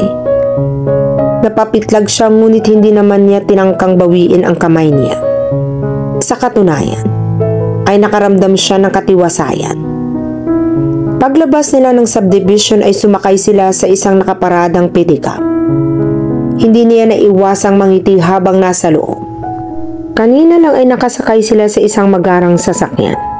Pagkatapos ngayon, ay sakay na lamang sila sa isang pedicab. Sa totoo lang, mas gusto niyang pakiramdam ngayon kaysa kanina. Bumaba sila sa isang tila palengke maingay at matao ang lugar. Ilang ulit siyang nabangga o nakabangga ng mga tao. Tumigil sila sa stall ng mga nagtitinda ng iniyang. Do you know these foods? Tanong sa kanya ni Adam. Naroon na naman ang panunukso sa mga mata nito.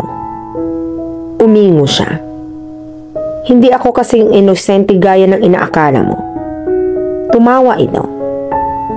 Nakakain ka na ba ng mga ganitong pagkain? Napalunok siya habang nakatitig sa mga iyon.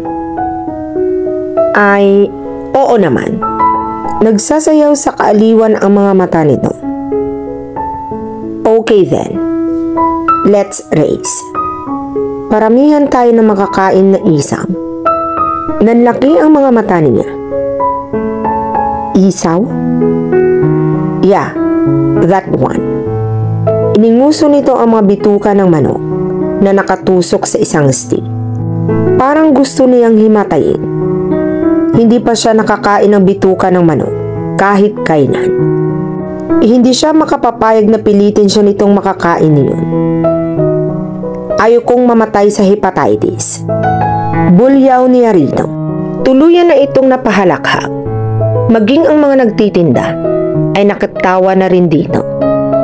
Sa awa naman ng Diyos ay wala pang namatay na parokyano namin ining. Nakangiting paliwanag ng aling nagtitinda. Malinis ang pagkakagawa namin niyan. Gusto na niyang lumubog sa lupa sa labis na kahihiyan. Parang halos na mga nagtitinda at bumibili roon ay tumitingin sa kanya. Dahil iyon kay Adam na ito. Isa lang ang paraan. Kailangang manalo siya sa lalaking ito. So ano ang mapapanalunan ng mananalo? Lumawak ang ngiti nito. What about a kiss for the winner? Nagsalubong ang mga kilay niya. That's what you want? Kung akala nito ay urong siya ay nagkakamali ito. Iba ang hihilingin ko kapag ako ang nanalo. Nginisihan siya ni Adam. Deal. Kailangan nilang magpaunahan na makaubos ng labing limang stick. Ang mauuna ay siyang manalo. Ilang saglit pa, ay tila sila mga artista na pinalilibutan ng mga tao.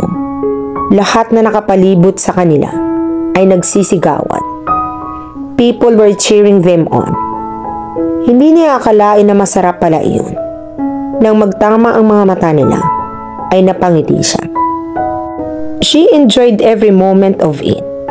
Hindi niya alam kung sinadya ba nitong magpatalo. Mas gusto niya yung isipin na natalo nga niya ito talaga. Napakasaya niya. Tinalo pa niyo ng kasiyahan niya tuwing nakakapag-close siya ng multi-million deal sa kumpanya ng tita niya. Ngiting-ngiti siya habang naglalakad. Ito man ay nakangiti rin. Natalo mo ako. Anong hihingin mo? Tanong nito pagkakuan.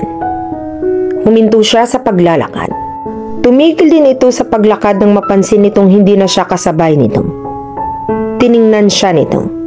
Nagtatanong ang mga mata. Maraming salamat, Ada. Talagang labis na nagpapasalamat siya rito. Ito ang tagapagligtas niya. Kanina lang ay pulos galit at pagkamuhi ang nangingibabaw sa kanya. Ngunit ngayon ay payapa na ulit ang puso niya. For what? She gave him the best smile she could ever afford. Gusto kong baliktarin ang ibinigay mong kondisyon. She looked puzzled. Humakbang siya palapit dito. The winner gets the chance to kiss the loser. She gave him a sounding kiss on the lips and walked past him. Nakakailang hakbang na siya nang linungin niya ito. Nakatulala ito habang hawak ang mga labi nito. Napatingin siya sa kanya, kaya nagtama ang paningin nila. Nang umiti siya ay umiti na rin ito. Nagpatuloy ulit siya sa paglakad. Sigurado ka bang kaya mo na? Napatingin si Angelica kay Adam na mahimiga niya ang pag-aalala sa boses nito. Kasalukuyan silang nasa hasanda nito. Maaga pa lang ay sinundo siya nito sa bahay nila upang mamasyal sa buong lupain ng mga ito. Tinuruan siya nitong mga bayo at ngayon ay subukan niyang sumakay ng mag-isa. She grinned wickedly. Don't underestimate me. Humahalakhak ito if you say so. Tinulungan muna siya nitong makasakay bago ito sumampa sa sarili nitong kabayo. Magkahalong kaba at excitement ang nararamdaman niya. Sa kaibuturan ng puso niya, alam niyang safe siya dahil kasama niya ito. Ilang saglit pa ay magkaagapay na sila nito sa pangangabayo. Hindi niya masupil-supil ang ngiti sa mga labi niya. Her heart was overflowing with gladness napakalawak na mga lupain ng mga Muntimayon. Natitiyak niyang napakayaman talaga ng mga ito. Ngunit ni minsan, ay hindi niya naringgan ng pagmamayabang ang binata. Dahil doon, ay lalo siyang napahanga nito. Ano-ano ang mga pananim ninyo rito? interesadong tanong niya. Pinakamalawak na bahagi ay palayan, pero meron din mga tubo. May bahagi rin na pulos mga mais at niyog. Sa pinakadulo ay mga sagingan. Sa tansya niya ay libong ektarya ang lawak ng buong lupain. Ipinagpatuloy nila ang marahang paglibot. May natanaw siyang kubo malapit sa taniman ng mga mais. Can we go there? She asked wistfully. You want to go there? Tanong nito. Yes. Ngumiti siya rito. Malayo pa lang ay natanaw niya ang mga tao roon. Inilalayan siya nito pagbaba. Tila iisang tao na bumati ang mga ito sa kanila. Dito na po kayo kumain, sir. Yaya rito ng isa sa mga trabahador. Agad na nagpaunlak ito. Magkatabing umupo sila sa pinakagitna ng mahabang mesa. Nasa labing lima siguro silang lahat. Nakalatag sa dahon ng saging ang mga pagkain. Umuusok pa ang kanin. Ang ulam na naroon ay pritong tilapia at ginisang kamatis. Nagsimula silang kumain. Binigyan siya ng kutsara at tinidor ng mga ito. Samantalang nakakamay ang mga ito. Maging si Adam ay nagkakamay rin. Masasabi niyang malapit talaga ito sa mga trabahador. Ibinaba niya ang kutsara at tinidor at nagsimulang magkamay. Nagkatinginan sila ng binata. Kapag kuwan ay sabay pang natawa. You eat with your hands like a pro. Lalo siyang natawa dahil alam niyang tinutukso lamang siya nito. Nahuhulog sa kamay niya ang kanin at ulam. Alam ko. Pagsakay niya sa pang-aasar nito. Pangiting-ngiti lamang ang mga kasama nila na tila ba kilig na kilig. Lalo na ang mga kababaihan. May palagay siyang bukas pa siya matatapos sa pagkain niya. Here. Iniumang nito sa bibig niya ang kamay nito na may lamang pagkain. Nang tanggapin niya iyon, ay inulan siya ng panunokso mula sa mga kasama nila. Sir Adam, pakasalan niyo na po para araw-araw na kayong ganyan. Tukso ng isa. Oo nga naman, sir. Araw-araw namin kayong ipaghahanda ng pagkain dito. Anang ng isa pa. Nang umiti siya sa binata, ay lalo pang lumakas ang tuksuan. Pakiramdam niya ay busog na busog siya pagkatapos nilang kumain. Kahit siguro isang linggo siyang hindi kumain, ay tatagal siya. Iniwan nila ang mga kabayo nila sa kubo at kasalukuyan silang naglalakad patungo sa bukid. Mas maganda at presko raw doon. Mabuti na lang at maulap ang panahon ngayon at malamig ang simoy ng hangin. Hahabulin ka ng manok. Nakangiting usal nito. She wrinkled her nose. What? Nang aasar na naman siguro ito. He grabbed her close to him and picked something on her chin. This. Ipinakita nito sa kanya isang butil ng kanin. Hahabulin ka ng manok dahil dino. Lalo siyang natawa. Kapag kasama niya ito ay nagmumukha siyang inosente at walang kaalam-alam. When all along she thought she was smart and unreachable. So, ayaw mo pala akong habulin ng manok? Natatawang pakli niya. Mabilis naman akong tumakbo. Pinisil nito ang baba niya at inangat iyon. Hindi ako papayag na tukain ka lang ng kung sino-sinong manok. Kahit sa manok, magsiselos ako. He said grinning from ear to ear. Napatitig siya sa nakangiting mga labi nito. Bakit ba ganoong kapula ang mga labi ng lalaking ito? Napalunok siya nang unti-unting bumaba ang mukha nito sa mukha niya. Kung mayroon man siyang nais mangyari ng mga sandaling iyon, ay walang iba kundi ang mahalikan ulit siya nito. Gayunpaman, nakikita niya sa sulok ng mga mata niya ang pagmamasid ng mga tao sa loob ng kubo ng pinanggalingan niya. She turned to her left, so his lips landed to her hair.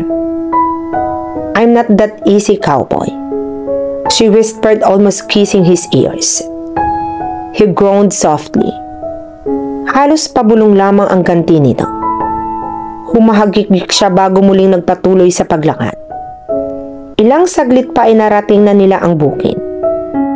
Para siyang batang napasigaw. First time din niyang makapunta sa bukid. It was more beautiful. Seeing it in person than in photographs. Let's race. Kumikislap ang mga matang hamon nito sa kanya. Race for what? She asked. Paunahan tayo sa pagtakbo sa pilapil. Ang unang makarating sa dulo ay siyang panalo. Napangisi siya. Inunahan na niya ito sa pagtakbo sa pilapil. Sigurado siyang mauuna siya rito. Ngunit napasigaw siya nang umangat siya sa lupa. Hawak siya nito sa baywang at inangat siya mula sa likuran. Inilapag siya nito sa naaararong lupa na wala pang tanim na palay. Tinangka niyang tumayo, ngunit nagkadulas-dulas lamang siya. Kumulapol sa mukha at katawan niya ang puti. Kinawayan pa siya nito bago ito muling nagtakbo sa pilapil. Hinahamon talaga siya ng lalaking ito. Hinubad niyang suot na rubber shoes at tumakbo pa sunod dito. Tinalo niya ito at sumampa sa likod nito. Tuluyan siyang pinasa nito sa likod habang tumatakbo sa pilapit. Ipinunas naman niya sa mukha at leeg nito ang putik na nasa kamay niya. Tawa siya ng tawa habang panay ang angal nito sa ginagawa niya. Pilit na tinatanggal ni Angelica ang mga putik sa katawan niya. Habang si Adam naman ay pilit pa rin kinakati ang poso. Masyadong ipinagmamalaki nito ang poso na napakalamig daw ng tubig. Ngunit hayon. At wala naman palang lumalabas na tubig. Ilang taon pa ba ang paghihintay natin? Bago magkaroon ng tubig iyan, pang-aasar niya rito. Bahagya itong nagkamot ng dulo ng ilong. Sandali na lang ito. Anito at muli nitong ipinagpatuloy ang pagbomba sa poso. Nakap-focus ang buong atensyon nito sa ginagawa niya. Kaya hindi nito napansin na walang habas na pagtitig niya rito. He looks so capable while pumping the artesian well. His muscular arms grow harder and bigger while doing it. Naalala niya ang pakiramdam ng makulong siya sa mga bisig nito. Naranasan na niya ang ilang ulit iyon. Ngunit hindi na siya nakakatugon. Mas maganda siguro kung nagulat siya nang may tumalsik na tubig sa mukha niya. Hey! Nakangiting pukaw nito sa kanya. Hindi niya napansin na may tubig na pala na umaagos mula sa poso. Pinuno nito ng tubig ang timba. Ligo na tayo, sweetheart. Pang-aasar niya rito. Hindi ko akalain na magkakasabay tayo sa ganito sa pagligo. Gusto niyang mairita sa ngisi nito. Ngunit natawa na lang siya. Parang hindi na niya magawang magalit ngayon dito. Tumayo na siya upang lumapit dito. Okay Muntik na siyang matumba. Sa kinatatayuan niyang bigla itong maghubad ng damit. Nanlaki ang mga mata niya at pakiramdam niya ay luluwa ang mga iyon sa anumang oras. Napalunok siya ng makailang ulit habang nagpipiesta ang mga mata niya sa katawan nito. Nagbuhos ito ng tubig na tila hindi napapansin ang nangyayari sa kanya. Tila slow motion ang umagos sa katawan nito ang tubig. He looked absolutely hot. Bigla ay parang nainggit siya sa tubig. He looked very masculine, like a perfect work of art. Ilang ulit siyang humugot ng malalim na hininga. Umangat ang mga tingin niya mula sa katawan nito, papunta sa mga mata nito. His eyes were smiling gloriously. Hindi na siya magtataka kung kasimpula na ng pakwan ang mukha niya. Agad na nag-iwas siya ng tingin dito. He laughed so hard. No worries, babe. You can look all you want. You can even touch or do anything you want to do. You can also stop.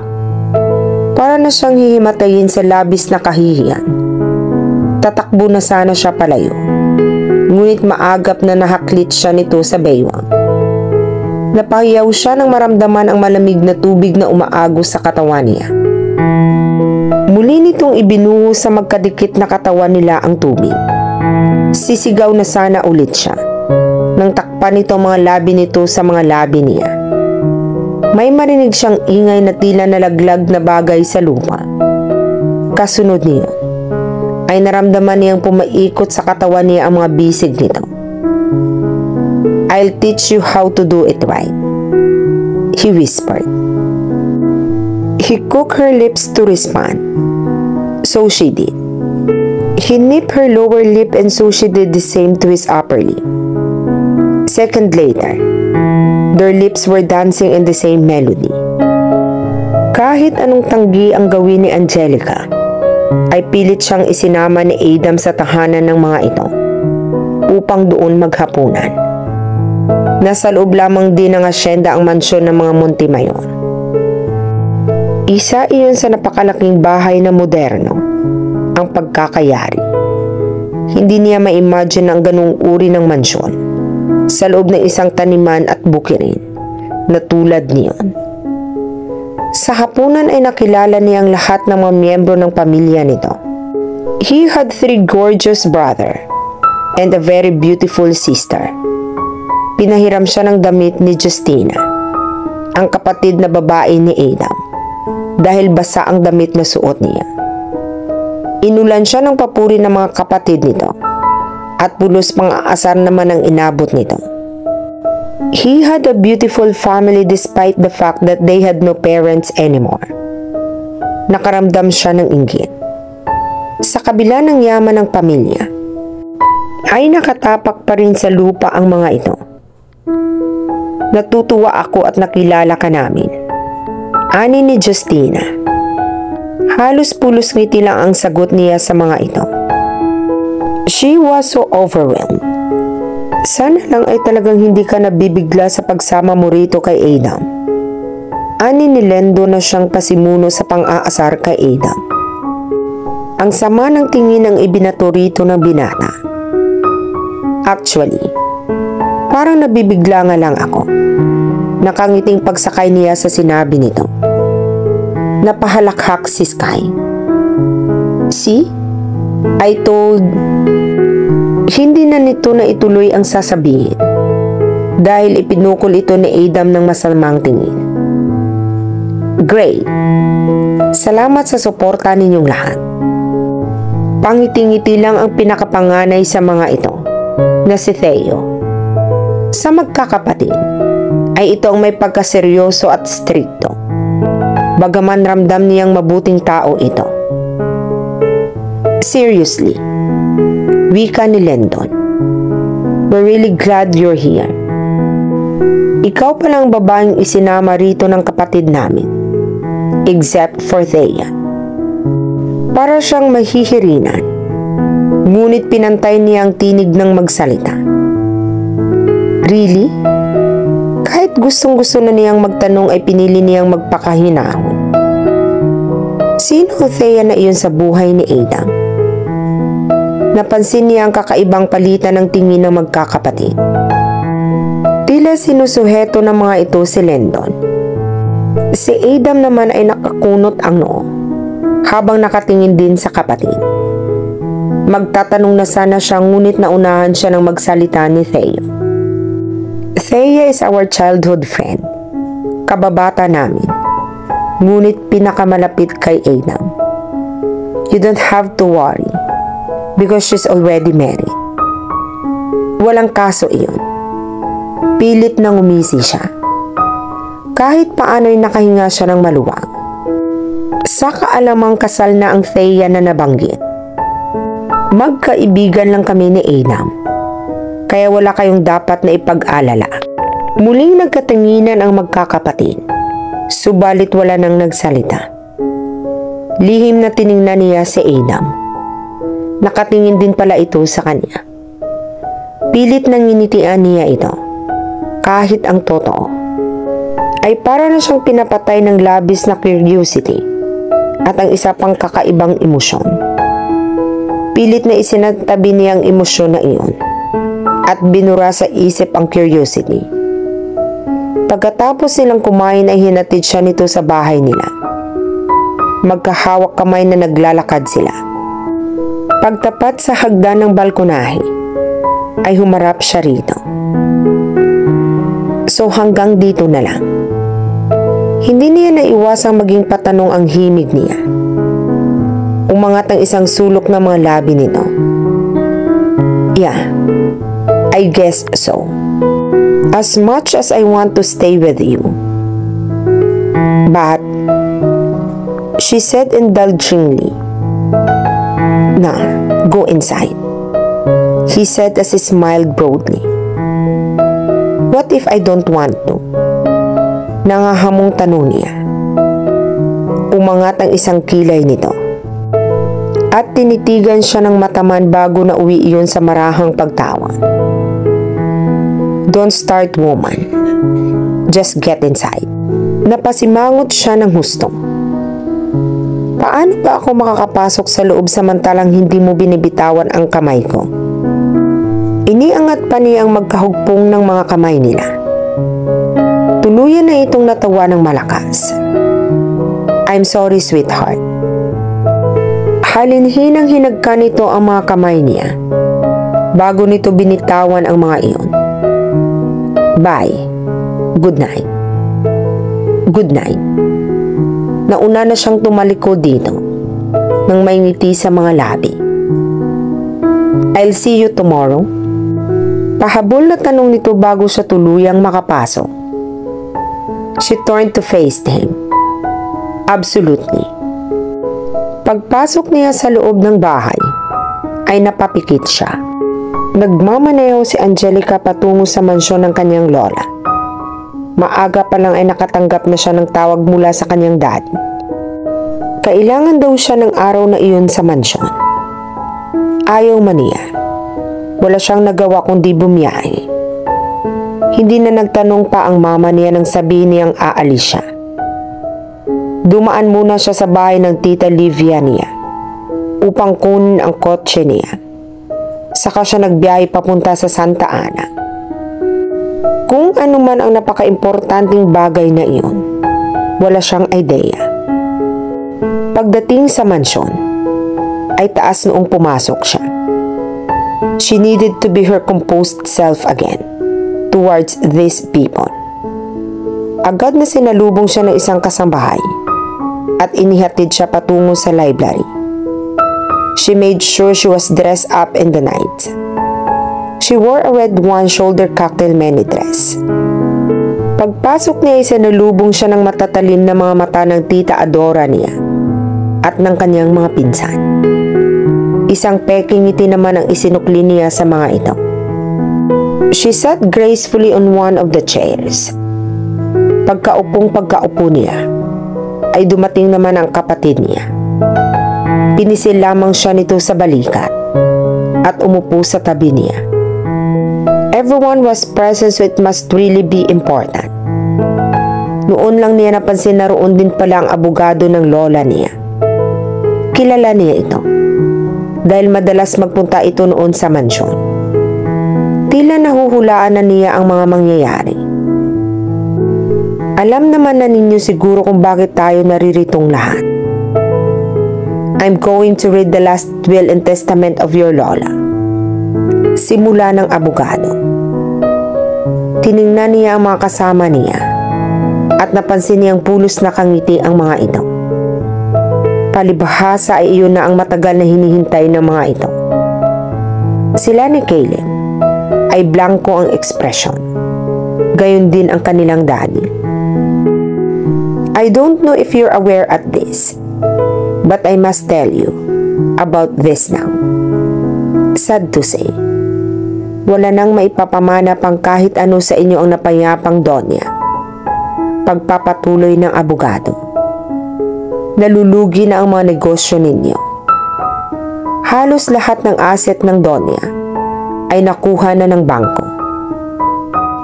Walang nakapag-react sino man sa mga ito.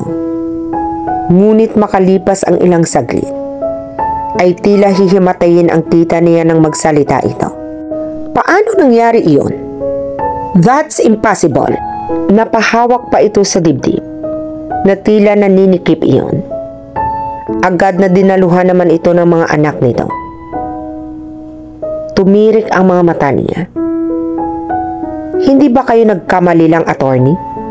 Tanong ni Leila. Matatag ang kumpanyang pag-aari ni Lola. Hindi yun pwedeng basta-basta na lang malulugi. Hysterical na ang mga ito. Habang ang daddy naman niya ay nakaupo lamang at kalmado. She could see defeat in his eyes. Alam na marahil nito ang tungkol doon, noon pa man. Sila lamang ang magkapatid na tila walang anumang reaksyon sa mga nangyayari. Wala ka bang sasabihin man lang kuya? Nanlulumong tanong ng tita niya. Nanlaki ang mga mata nito na tila may naunawaan. No, alam mo na ba ang tungkol dito? At hindi mo lamang sinabi sa amin? Hindi nagsalita ang daddy niya. Bagkus ay nanulumong yumuko na lamang ito. Paano ang bahay na ito? Hindi pa rin nagsasalita ang daddy niya. Kaya ang abogado na lamang ang sumagot. Isang buwan na lamang bago ito marimata ng bangko. Isang nakabibinging katahimikan ang sumunod to see defeat and hopelessness in their eyes brought a satisfaction feeling to her being. Matagal na niyang hinihintay ang mga sandaling iyon. Wala pa naman siyang ginagawang paraan para sirain ang mga buhay ng mga ito. Ay nangyari na iyon. I can take this sad scenario. Hindi niya naiwasang sabihin. I think I need some fresh air. Walang nakapagsalita sa mga ito nang lumabas siya. Paglabas niya sa sala, nagulat siya sa nakita. Naglalakad papasok ang kahuli-hulihang tawang gusto niyang makita. Si Ivan. Hindi niya malaman kung tutuloy o hindi. Tila nag-echo sa isip niya ang boses ni Tita Livia niya. That gave her more than enough confidence to continue walking. Tila naman nahihipnotismong naglalakad papalapit ito sa kanya. Mababakas ang matinding paghanga at pagkamangha sa mukha nito. Nakangiti ito sa kanya. Habang siya ay malamig ang tingin ipinukol dito. Angelica. Tila hindi nito malaman ang sasabihin. You look great and hindi na nito na ituloy ang sasabihin dahil biglang sumulpot ang pinsan niya. Agad na yumakap dito si Leila at humalik sa mga labi nito. Honey, I missed you so much. I'm glad you're finally here. Tumingin pa ito sa kanya na tila ng loloko. We're engaged by the way. The wedding is in the month's time inaakala nito na kaya siyang saktan nito. Tulad ng dati ay nagkakamali ito. Nakalulokong ngumiti siya. Congratulations to both of you. Thank you so much. Hindi nagpapatalong sagot ng pinsan niya. What gift shall I give you? How about some new clothes? You badly need it. Tinalikuran niya ito na tila sinampal ang reaksyon. Hindi hindi siya maaaring talunin nito. Not now. Not ever. Palabas na siya ng mansyon nang tawagin siya ng kanyang kapatid. Gusto kang kausapin ni Daddy Adi. Naiwan siya sa library. Nakaupo sa single-seater sofa ang daddy ni Angelica nang puntahan niya ito sa library. Maliban sa formal na ekspresyon ng mukha nito, mayroon pa siyang emosyong nakikita roon na hindi niya mapangalanan. Umupo siya sa katapat na upuan nito Ngunit hindi siya nagsalita. For the first time, she saw confusion in her father's eyes. Agad ding nawala iyon, na tila hindi niya talaga nakita. Bakit ka nagbalik, Angelica? Parang may humiwang matalim na bagay sa puso niya. Sa buong akala niya ay immune na siya sa mga ganoong damdamin. Hindi pa rin pala. Pinatigas niya ang kanyang expression. What do you think? Tumitig ito ng diretsyo sa kanya. Umalis ka na. Just go back to the US. Doon ka na babagay. Parang dinaklot ng napakalamig na kamay ang kanyang puso. She gave him the coldest look she could matter. I will stay here as long as I want. Sorry to disappoint you, but you have no say in my decisions. I'm not longer your daughter. Remember? Kasabay ng pagtalikod niya ang pagtigas ng puso niya. Kung namumuhi siya rito dati, ay naging triple ito ngayon. Pagsakay niya sa kotse ay may naramdaman siyang mga butil ng luha na pumatak sa mga pisngi niya. Bakit siya nagkakaganoon? Bakit parang lumalambot na yata ang puso niya? Hindi na siya dapat ganoon. Nagsanay siya ng mabuti sa Amerika. Hindi maaaring mawala ng saysay ang lahat ng pinaghirapan niya. Hindi niya naiwasang balikan sa isip ang nakaraan. What? Gulantang na reaksyon ng daddy niya nang sabihin niya rito na sasama siya sa kanyang tita. Opo, daddy. Desidido na po talaga ako. Determinadong sabi niya. Halo-halong emosyon ang nagsalimbayan sa mukha nito bago iyon naging blanco. Kung nakapagdesisyon ka na pala sa sarili mo, gawin mo ang gusto mo. Nasaktan siya ng bahagya na hindi man lang siya nito pinigilan ngunit pilit na nagpakatatag siya. Napatingin siya sa lola niya nang magsalita ito. Sumama ka na sa kanya. Total, pareho naman kayo. Ni hindi man lang ito nakatingin sa kanya.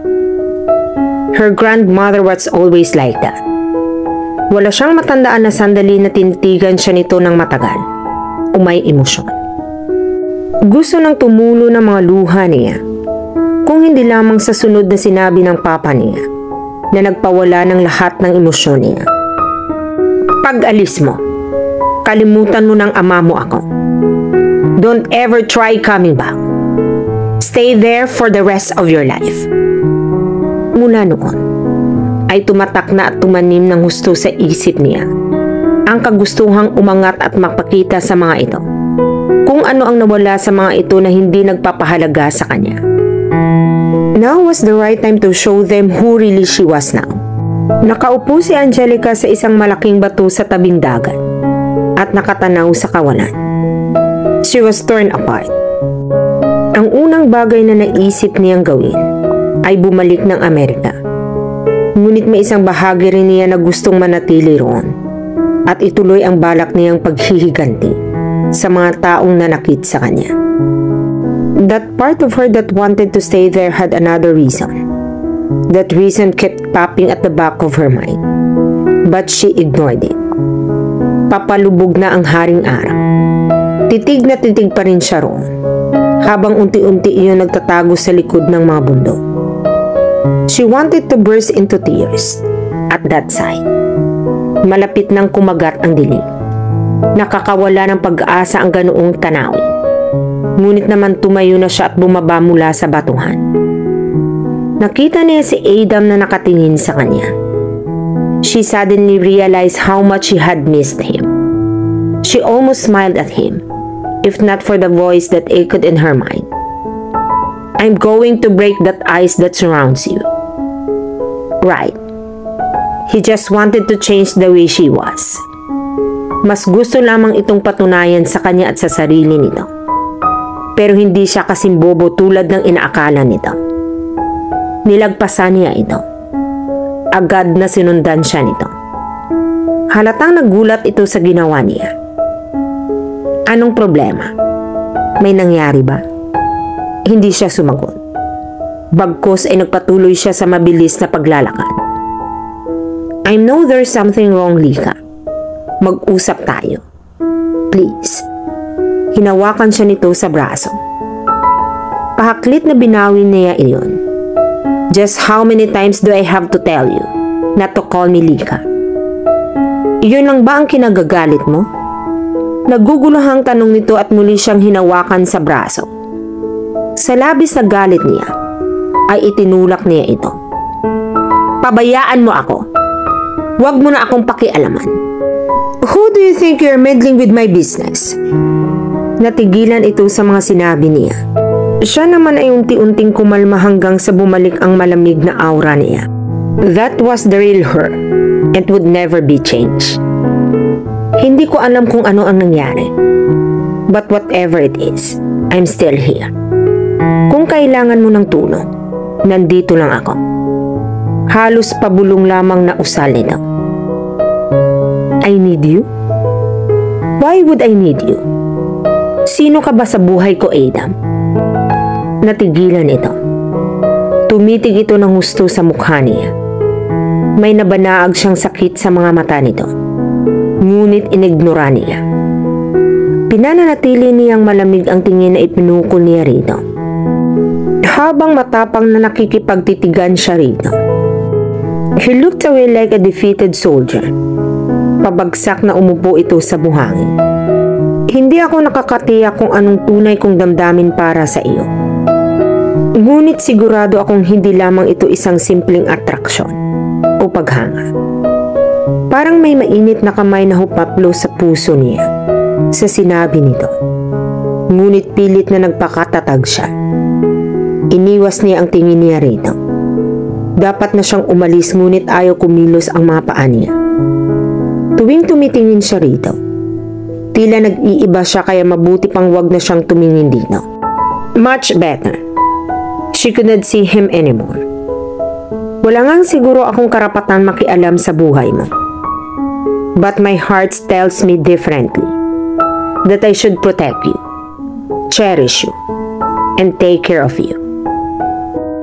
Kahit anong pigil niya ay may naglandas pa rin mga luha sa magkabilang pisngi niya. Pasimpleng pinahid niya ang mga ito. Ngunit ayaw maampat-ampat ang mga iyon. Dapat ay kanina pa siyang umalis. Ngunit tila nakapako na ang mga paa niya sa buhangin. Hindi ko sinasabing babasagin ko ang yelo na nakapalibot sa puso mo. Dahil gusto kitang baguhin. Ang gusto ko lang ay maging tao kang muli. Nasasaktan oo. Pero nakakabangon uli. O kaya muling maging masaya. Wala na siyang nagawa kundi magpaubaya ng hilahin siya nito at paupuin sa tabi nito. Nang umakbay ito sa kanya ay sumubsob siya sa balikat nito.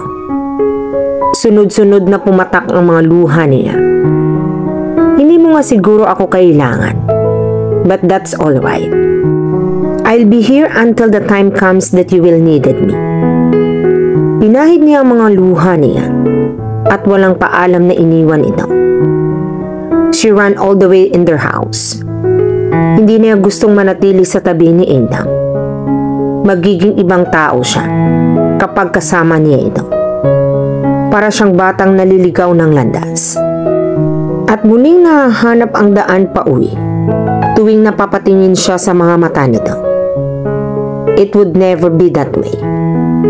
Pagsara niya ng pinto, ay nangihinang napasandal siya sa likod niyon na hapong napadaustos siya paupo sa sahig. Sumubsob siya sa magkabilang tuhod at doon umiyak ng umiyak. Hindi niya alam kung gaano siya katagal na umiiyak. Lika, marahas na napatingala siya sa pumukaw sa kanya. Ang mama niya iyon. Puno ng pag-aalala ang mga mata nito. Lalapit na sana ito sa kanya. Ngunit maagap na pinigilan niya ito. No. Pity was the last thing she needed right now. Anak, ano bang... Huwag mo akong tawaging anak. Sikmat niya rito sa pinakamalamig na tono.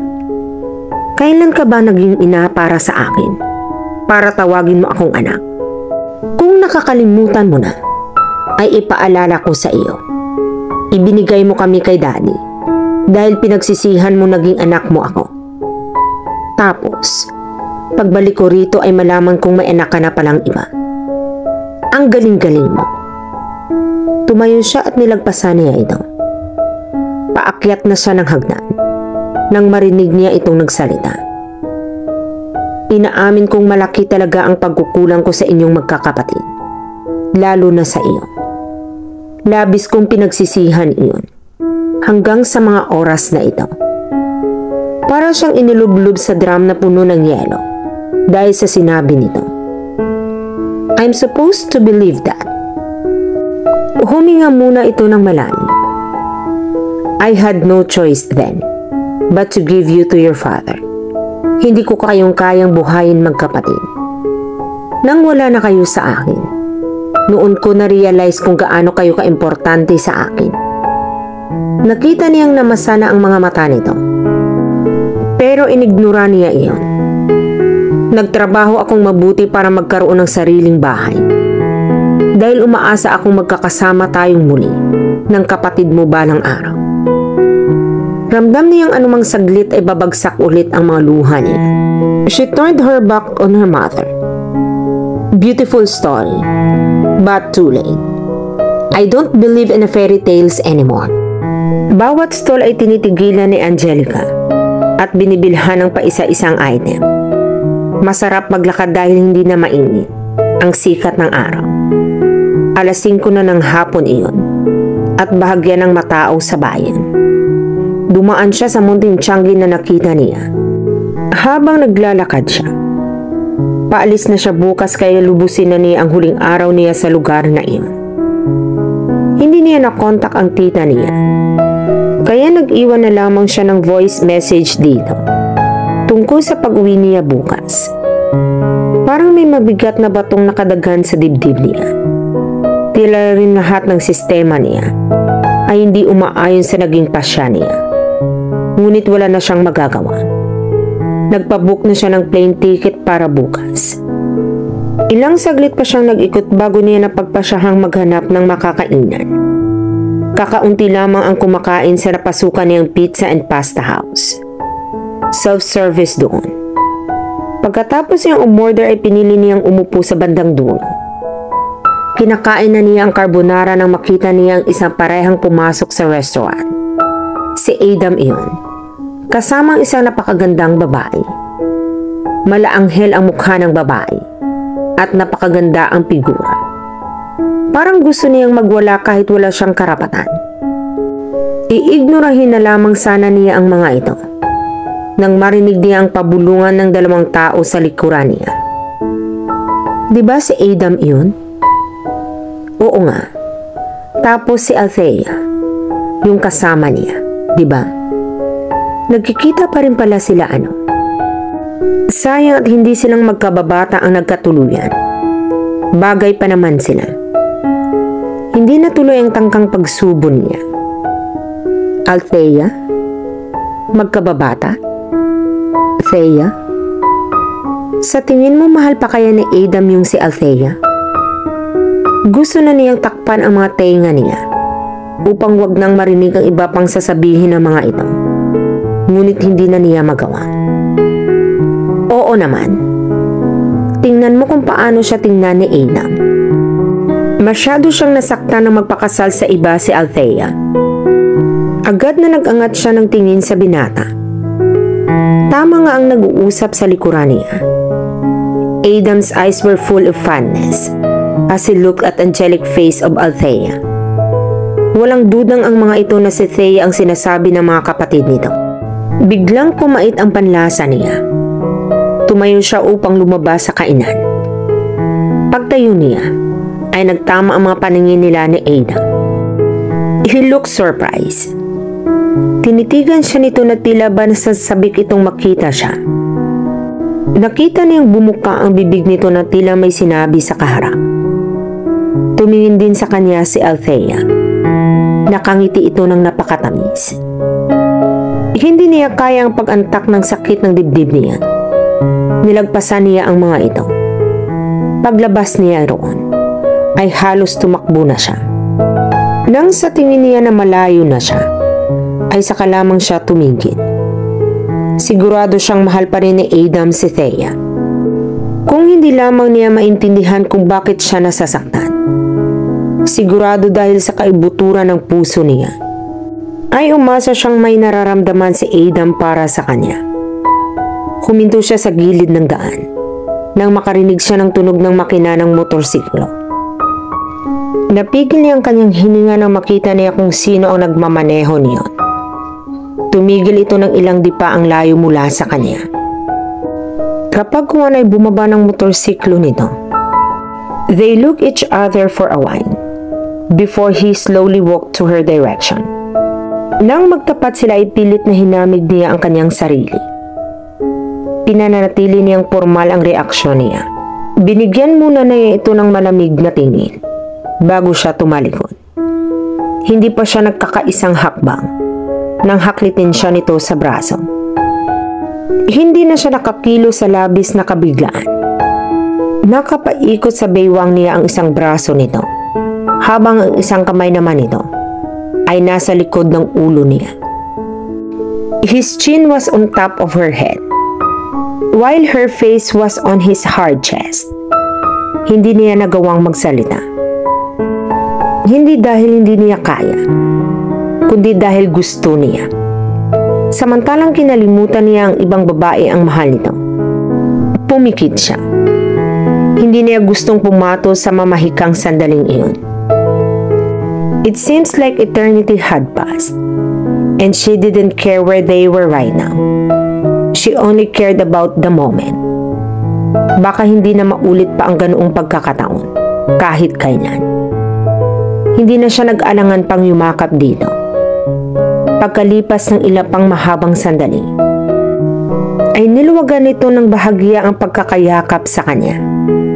She opened her eyes and saw that he was looking down at her with so much passion and longing.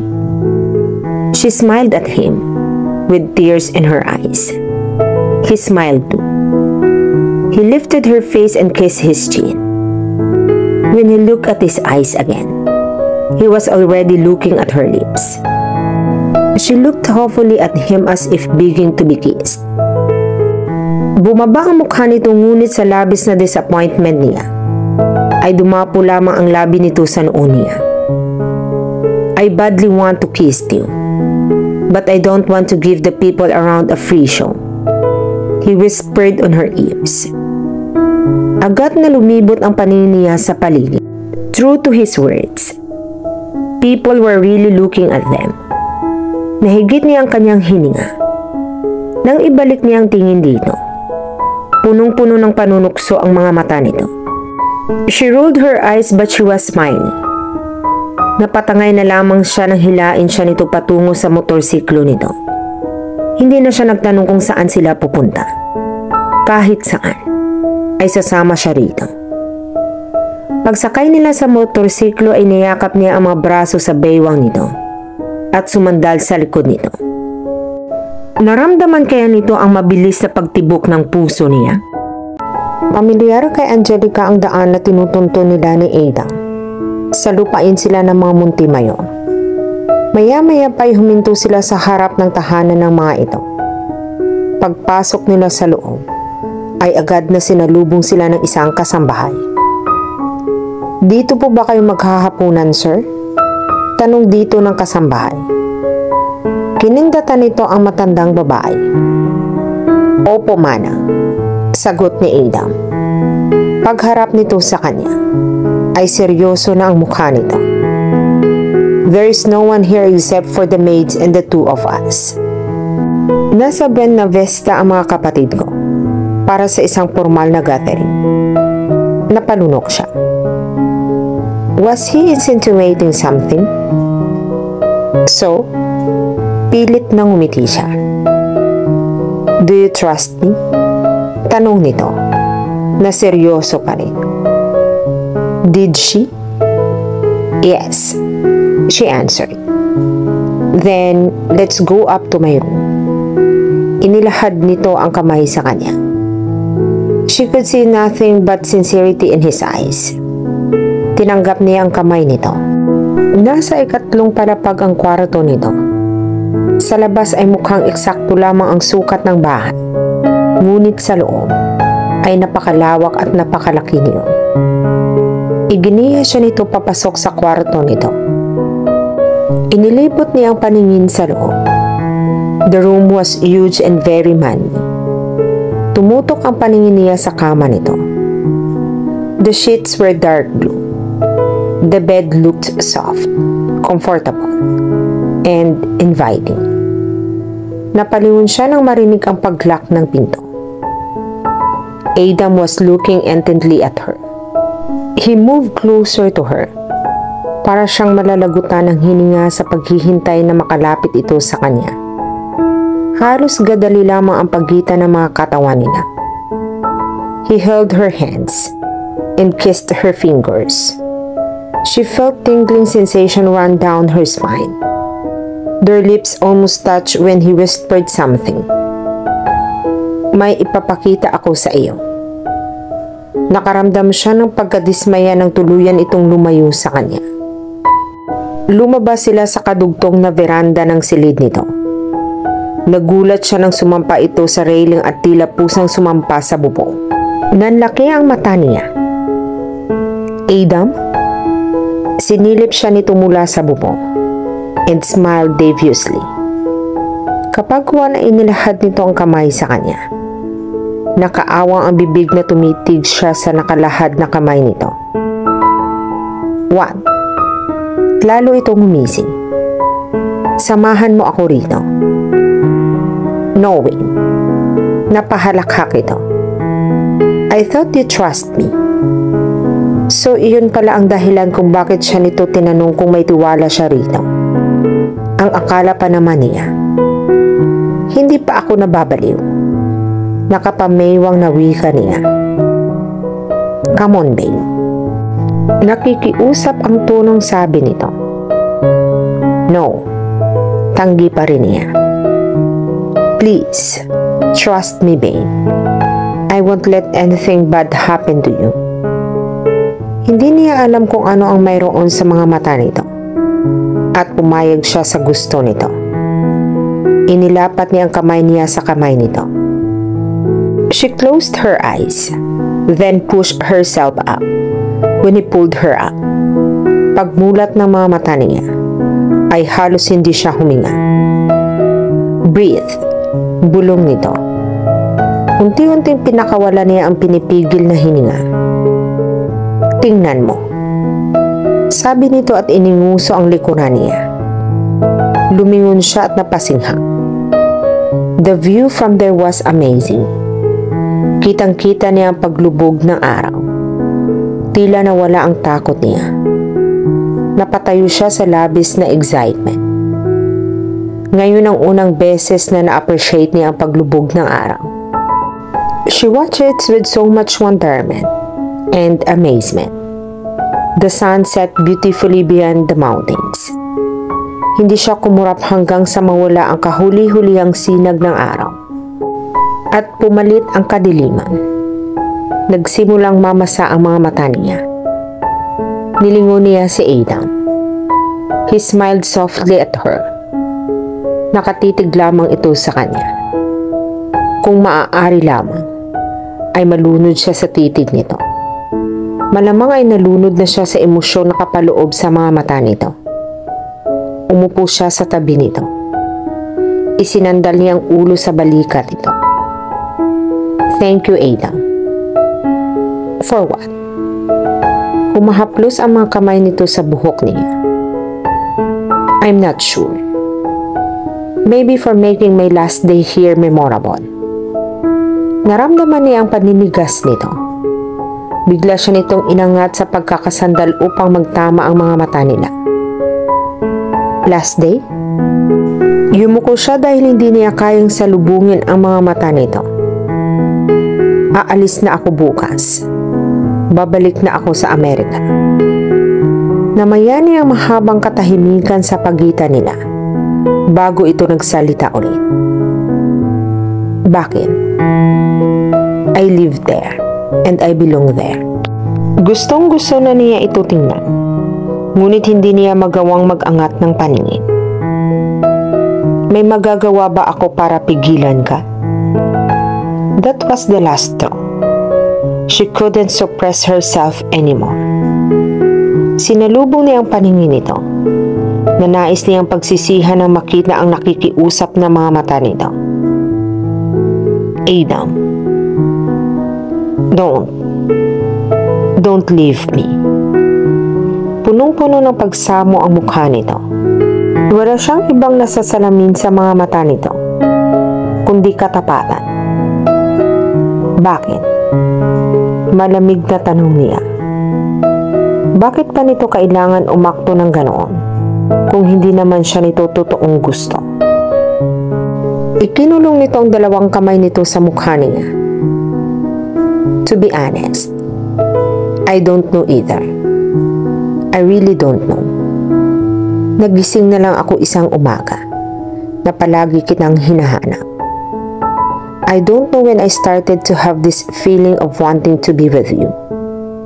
All I know is I want to be with you. Every day, every hour, every minute, and always. Hindi niya alam kung ano ang isasagot dito. How about Thea?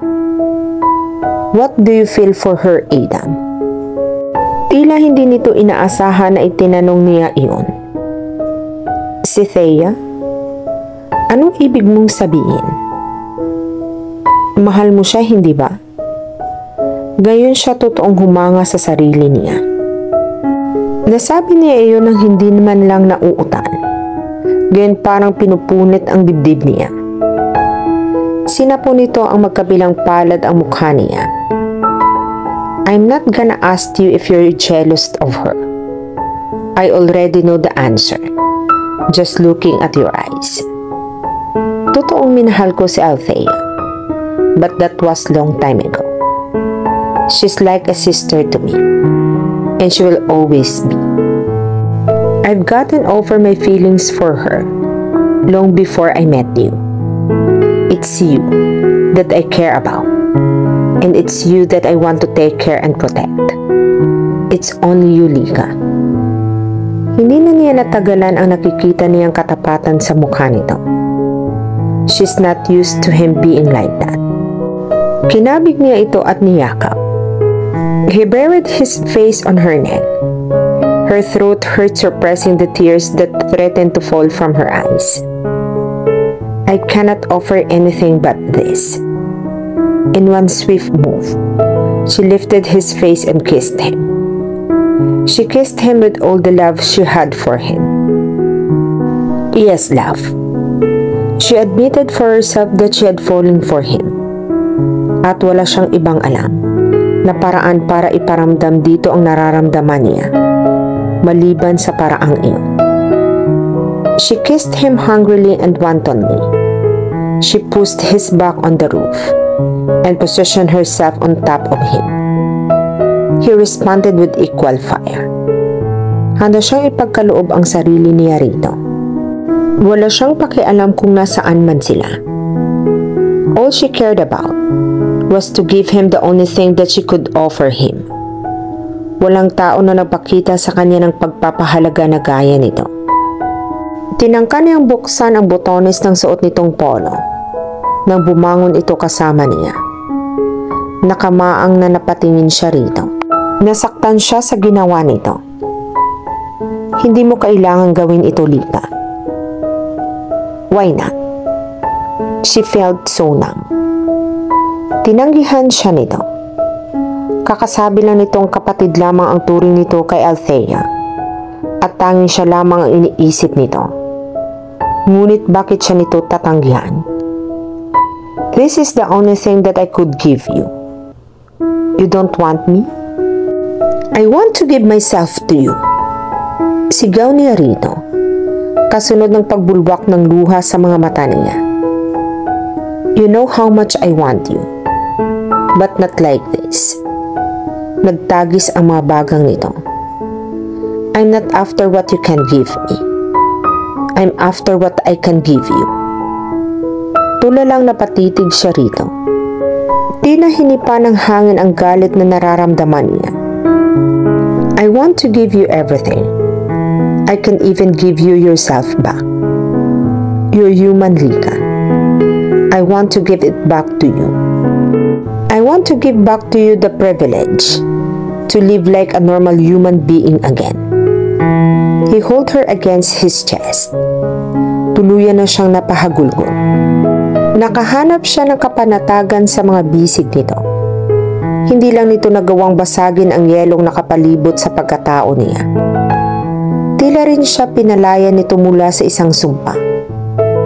Parang isang padlak ang puso niya na nabuksan dahil sa tamang susi. She clung to him like a long-lost child. She had been. There was still hope for her after all. Hindi man siya deserving sa binata, ay gagawin niya ang lahat upang maging tamang tao para dito. Inilalayan muna si Angelica ni Aidan pababa ng motorsiklo bago ito bumaba. Pagkatapos kumain ng hapunan sa bahay nito, ay inihatid na rin agad siya nito dahil daw masyado ng malalim ang gabi. Malamang daw ay nag-aalala na ang mama niya. Kahit ayaw pa niyang mahiwalay rito, ay sumang-ayon na lamang siya. Binigyan siya nito ng magaang ngiti bago tuluyang binitawan ang kamay niya. I won't go till you get inside. He kissed her on the temple before he finally let go of her. Okay. Pilit na naglakad siya palayo. Hindi na siya nakatiis. Lumingon siya rito at nang makitang nakatingin ito sa kanya, ay tumakbo ulit siya papalapit dito. Sinalubong naman siya ng mga bisig nito. They shared a passionate kiss before finally letting go of each other. Tandaan mo ang mga sinasabi ko sa iyo. Pahabol na sabi nito sa kanya. Tulog na ang buong kabahayan nang pumasok siya. Palibhasa ay alas 10 na ng gabi. Dumiretso siya sa kwarto niya. Nagpalit lamang siya ng pantulog nang mag-ring ang cellphone niya sa ibabaw ng bedside table. Tumigil iyon ng pagriring nang hindi agad niya iyon nasagot. Nang tingnan niya iyon, pangalan ng tita Livia niya ang nakaregister. Mayroon na itong tatlong missed calls sa kanya. May kabang bumundol sa dibdib niya. Marahil ay inaasahan na nito ang pagbabalik niya bukas. Nanginginig ang mga daliri niya nang tinawagan niya ito. Halos hindi siya huminga nang maghilo ang nasa kabilang linya. I'm sorry, tita. I forgot to bring my phone. So you're forgetting necessary things now? Nakagat niya ang ibabang labi niya. Sorry, tita. Hindi na po mauo forget it. She cut her off. Bago pa siya mawala ng lakas ng o, nasasabihin niya rito ang pasya niya. Tita, about tomorrow. Yeah, about tomorrow. She cut her off again. I'm going back to the country anytime soon. I just want to remind you about taking your revenge. Now that those people are poor as a mouse, you can easily destroy them. Don't look anywhere, Angelica. Just look straight to your goal. Nawala na ito pagkasabi niyon. She went as pale as a ghost. Hindi ka agad lumabas ng sasakyan si Angelica hanggat hindi na ipasok ng driver niya ang lahat ng kagamitan niya sa loob ng mansyon. Nang tumawag ang tita niya ng umagang iyon, agad na umalis siya ng Zambales at bumiyahe pabalik ng Maynila. Her aunt stated her plans to her. Kung siya lamang sa sarili niya ay hindi na niya gusto pang gumanti. Ngunit alam niyang hindi ikakatuwa ng tita niya iyon kung hindi matutuloy ang plano niyang paghiganti. Naisip niya kung ano ang magiging reaksyon ni Adam kapag nalaman niyang umalis na naman siya na hindi nagsasabi rito. Babalik naman kaagad siya pagkatapos niyang maisakatuparan ang orihinal na plano ng kanyang tita. Pagkatapos niyon ay maaari na uli niya itong makasama. Makalipas ang ilang saglit, ay kumatok ang driver niya sa pinto upang ipaalam sa kanya na naipasok na nito ang lahat na gamit niya sa loob. She gracefully walked inside the mansion. Tulad ng inaasahan niya, ay nakaabang na ang mag-iina. Ginitihan niya ang mga ito na magkatapat silang lahat. Nakita pa niya ang pag-akyat ng katulong bitbit ang maleta niya. Ano ang plano mong gawin, Angelica? Ang tita Adura niya iyon. Minitian niya ito ng pagkatamis-tamis. I just want to have a little vacation here. Before the bank finally takes this. Napahumindig ito sa sinabi niya. Ang mga pinsa naman niya ay halos patayin na siya sa tingin. Wala ka bang bahay, Angelica? Tanong ni Leila. Nagsasawa na kasi ako sa mansyon ko Since I'm also a part owner of this house, might as well take the opportunity living here for the last time. She said in politely killing manner. Hindi makukuha ng bangko ang mansyon. Sabi ng isa pa niyang pinsan. Right, mommy? Oo, anak. Sinusigurado ko iyan sa inyo at sa iyo, Angelica. Pinigilan niya ang sariling matawa Isang nang insultong tingin ang iniwan niya sa mga ito bago siya umakyat. Sigurado siya sa dating silid niya ipinasok ng katulong ang mga gamit niya. Pagpasok niya sa kwarto, ay inikot niya ang mga paningin sa loob ng silid. It was still the same room. Walang nabago o nagalaw sa mga dating gamit niya. Dinampot at tinitigan niya ang bawat bagay sa loob ng kwarto niya. Everything brought back old memories. Kung tutuusin, ay wala siyang magandang alaala sa bahay na iyon. But she suddenly realized that she missed this house. Deep inside her heart, she didn't want to lose this house. But she had no choice. Napapikit siya ng maalaala ang napag-usapan nila ng tita niya kaninang umaga. Nagising siya sa biglang pag-ring ng cellphone niya. Agad siyang bumangon upang tingnan kung sino iyon. Pangalan ng tita niya iyon ang nakalagay sa screen. It was already 11 o'clock in the morning. Good morning, tita. Where are you right now? The maids told me that you're not living in our house in Forbes. Ramdam niya yung biglang panlalamig sa sinabi nito. Where are you? Don't tell me. You're living in the old mansion. Ang tono nito ay nagsosoheto at noon lamang siya ginamitan nito ng ganoong tono. I... I'm in Zambales with my mother Tida. May ilang segundong natahimik ang nasa kabilang linya. She tried to explain herself. Tita, I forget it. Just do what I'm going to tell you. Live in the old mansion and make their lives miserable. They got nothing, so it's easy for you to destroy all of them. I want good result when I come back after a month. Don't disappoint me, Angelica. She couldn't let her guard down. Nanungaw siya sa labas ng bintana. Papalubog na si Haring Araw. It reminded her of Adam. Napangiti siya sa pagkaalala sa binata. She already missed him so much. It took just one week for her to fall in love with him. Samantalang hindi pa niya naranasan ang pagmamahal at mahalin kahit na kailan. Sa muli nilang pagkikita ng binata, ay sasabihin na niya rito ang totoong nararamdaman niya para rito. Gusto nang humalis ni Angelica sa harap ng hapag kung hindi lamang siya magmumukhang talunan. Kasalukuyang naghahapunan sila. Ikatlong araw na niya sa mansyon. Nagtagumpay naman siya na inisin at galitin ang tao roon. Hindi na halos lumalabas ng kwarto ng mga ito ang dalawang pinsan niya. Si Tita Adora naman niya ay disimuladong umiiwas na magkasarilinan sila sa iisang lugar. Ngunit ng mga sandaling iyon, ay tila nais niyang magwala sa mga nangyayari. Bisita ng pinsan niya si Ivan at ngayon nga ay sinasadya nitong galitin siya. Sinadya nito sa harap niya umupo katabi si Ivan. Hindi siya nagagalit dahil sa nasasaktan siya dahil may nararamdaman pa siya kay Ivan. Nagagalit siya dahil halatang halata na sinasadya nito na magpapakasweet sa nobyo.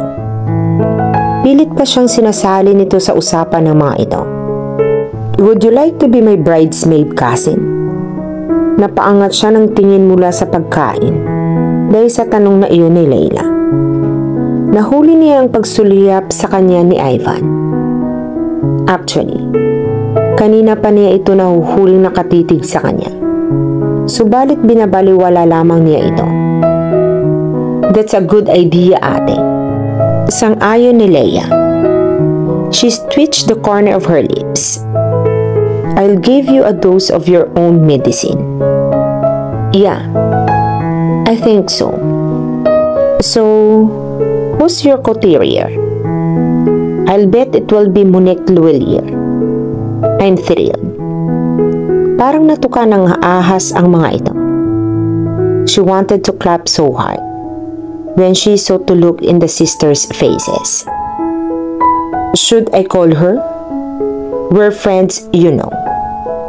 Ramdam niya ang pagtitig ng mga ito sa kanya. Ngunit wala siyang pakialam. Nagpatuloy siya sa mabagal na pagkain. Ang daddy niya, gaya ng dati ay hindi nagsasalita wala itong pakialam kahit ano pa ang sasabihin ng mga ito sa kanya. But his silence today was unusual. Yung uri ng pagkatahimik na tila ba wala itong kamalayan sa paligid. At sa muli niyang pag-angat ng tingin, ay nahuli na naman niyang nakatitig sa kanya si Ivan. Paglipat ng paningin niya sa pinsa niya, ay nanlilisik ang mga mata nito sa pagkakatingin sa kanya. Binigyan niya ito ng isang naghahamong tingin. Nagsusukatan sila ng titig sa isa't isa nang kunin ng katulong ang atensyon nila. May tao po sa labas. Sino iyan man ang Lorna? Ang tita niya iyon. Lalaki po. Hindi ko po naitanong ang pangalan niya. Hinahanap po si Ma'am Angelica. Papasukin mo siya rito. Kung ganoon at baka hindi pa siya naghahaponan. Napatingin siya sa daddy niya. Dahil sa sinabi nito ngunit hindi naman ito tumingin sa kanya. Muling lumabas ang katulong. May bumundol na kaba sa dibdib niya. Hindi naman sigurado iyon si napatayo siya sa gulat nang mapagsino niya. Si Adam talaga ang dumating. Dumagsang iba't ibang emosyon sa dibdib niya. Una na roon ang kasiyahan. Hindi niya nasupil ang isang malawak na ngiti.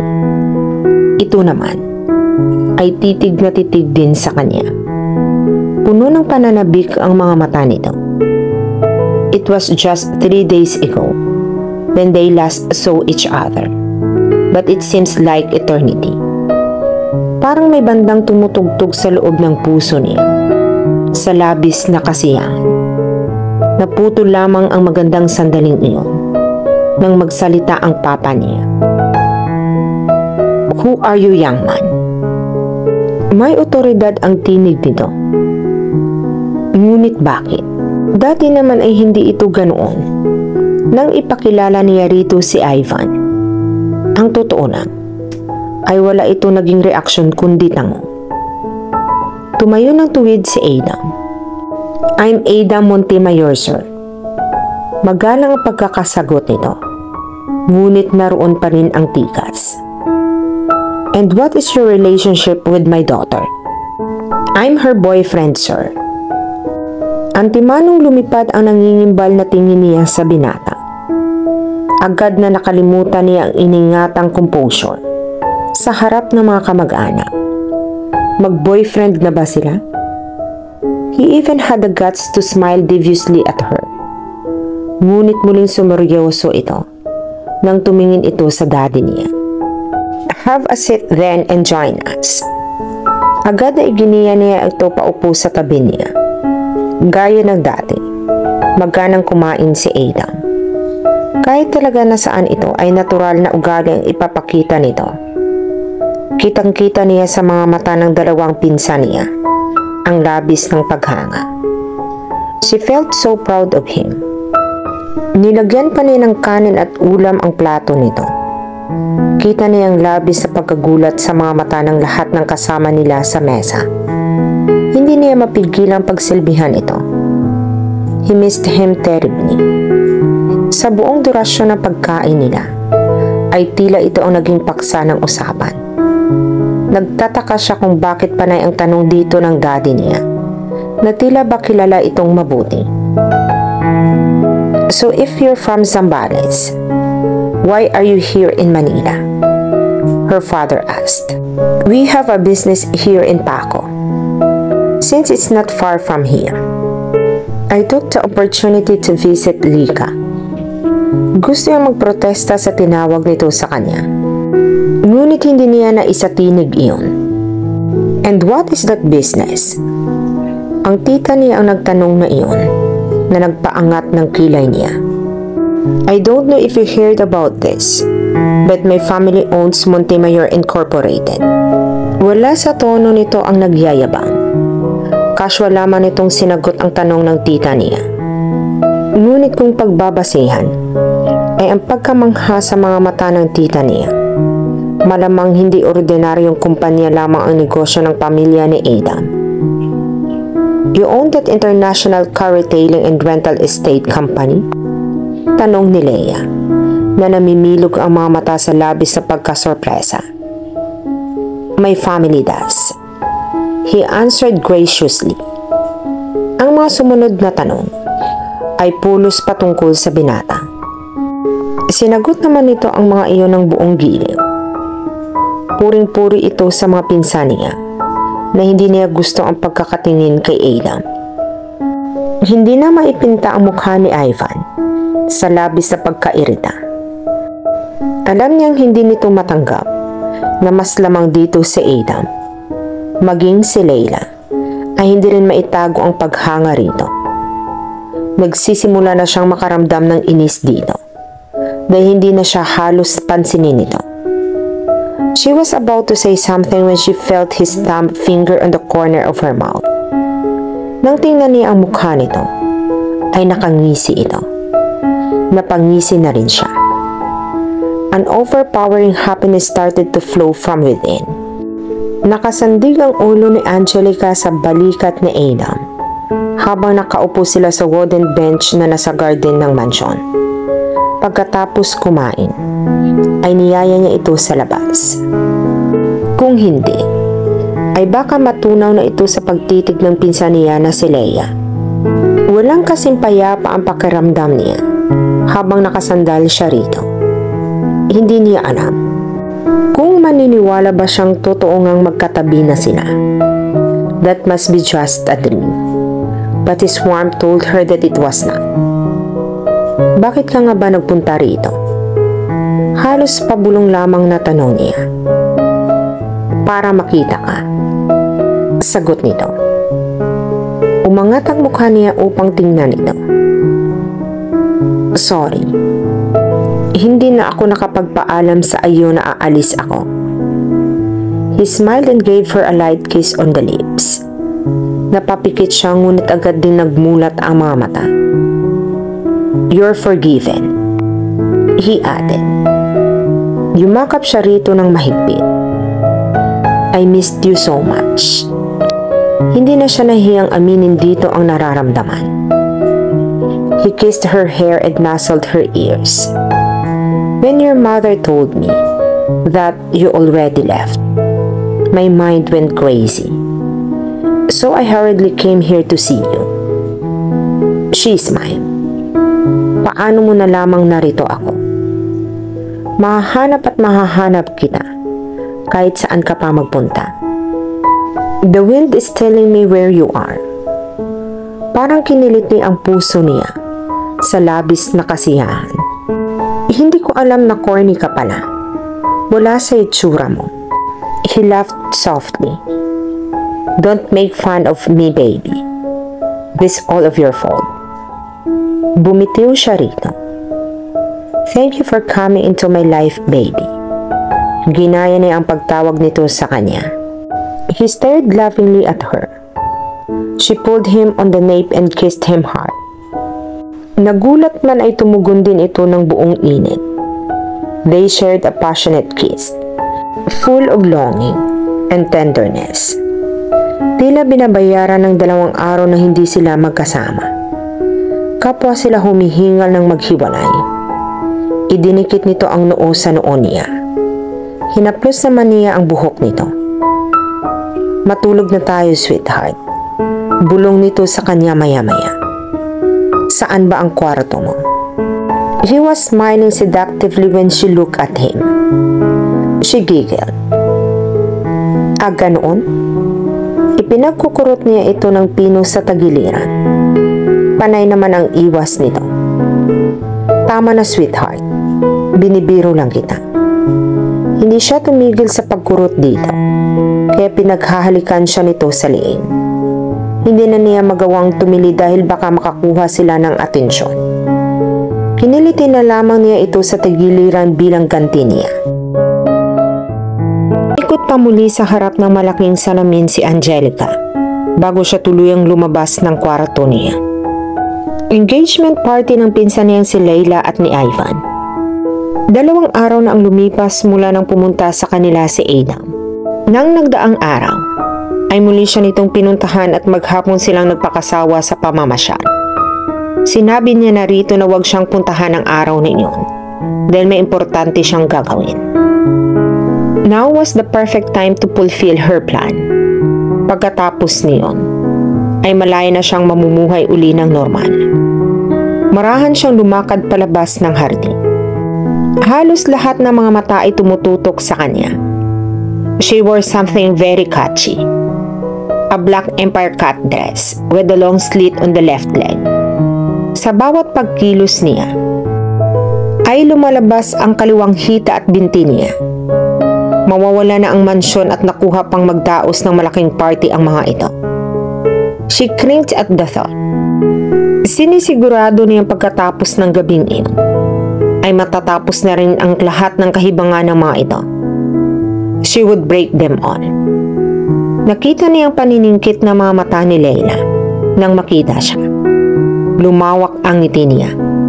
Si Ivan na nasa tabi nito ay nakapako na sa legs niya ang paningin. Lalo pa niyang ginandahan ang paglakad. She swayed her hips seductively. Wala ang daddy niya. Dahil sa isang importanteng business deal, para daw maibangon ang negosyo nito. Lumingon siya sa paligid upang maghanap ng mauupuan.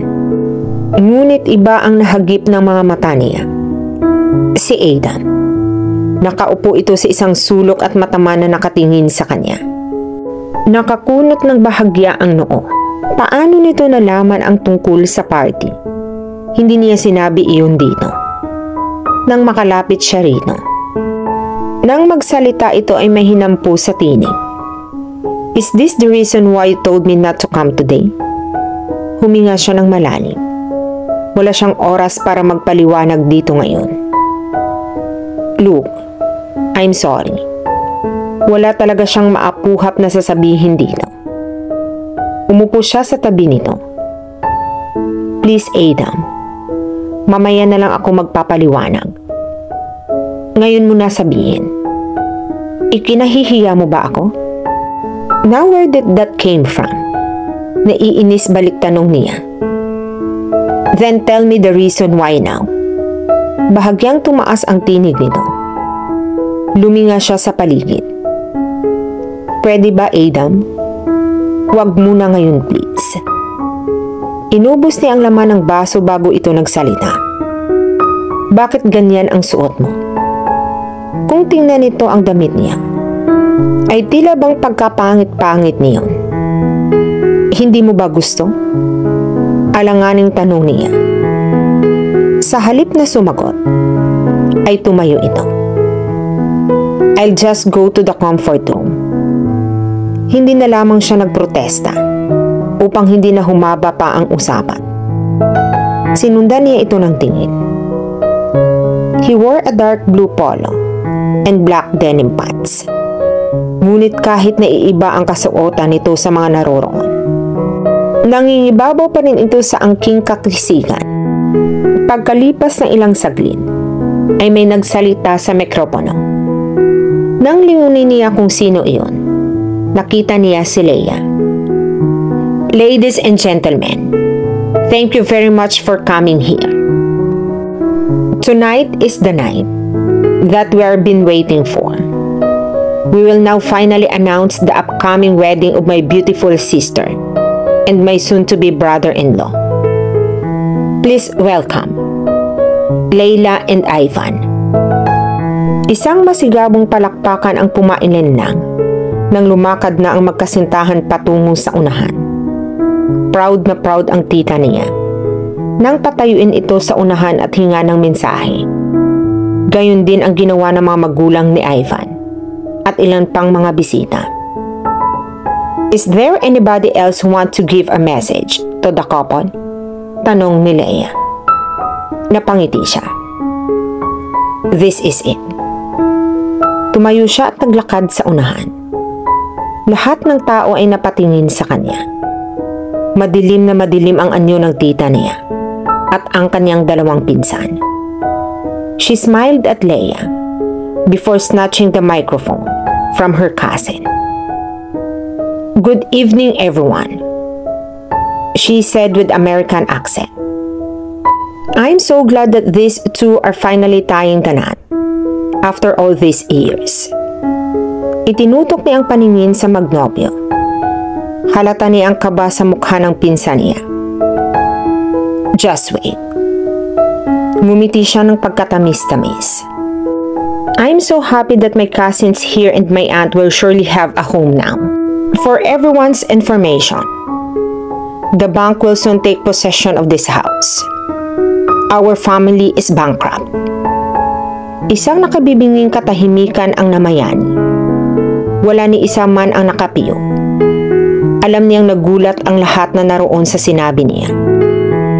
Duda siya kung alam ng mga ito. Ang tunay na kalagayang pinansyal ng pamilya nila. Ang nagbabagang mga mata ng tita niya ang sumalubong sa kanya. Pulang-pula ito sa labis na pagkapahiya. Ang mga pinsan naman niya ay halos maluha-luha sa labis na galit. Come to think of it, it's very timely. They're getting married right after they learned about the family's financial problem. I think my cousin here wants to use this opportunity to, you know, she's dragon. Ivan's family is rich and powerful. If they get married, my cousin will still live comfortably even if the family lose everything. My cousins and aunt are used to the luxuries of life, and they will remain. So once Leila gets married to Ivan, bumaling siya kay Ivan. Nagulat na gulat ang expression. I don't want to say this but I don't want to lie. I want you to know the truth, Ivan. Leila's just using you. She wants your money not you. Walang maririnig na anumang ingay sa paligid. Panlulumo at pagkatalo ang nababasa niya sa mukha ng tita niya. Sa direktang akusasyon niya sa motibo ng kasalang magaganap. Kahit ang mga pinsan niya ay tila nagpipigil lang ng umiyak. Mission accomplished. Papasok na siya sa kabahayan nang may humaklit sa braso niya. Pagharap niya ay madilim na anyo ni Adam ang nabungara niya. Let's talk. He said in controlled voice. Binawi niya ang braso at naunang lumakad patungo sa living room. Bakit mo ginawa iyon kay Layla? Pinanatili niyang patag ang ekspresyon niya. Hindi mo rin maiintindihan. Kaya wag ka na lang makialam, Adam. Hindi pwedeng hindi ako makialam. I've already made it my business as far as you are concerned. Anito na sa mataas na tinig.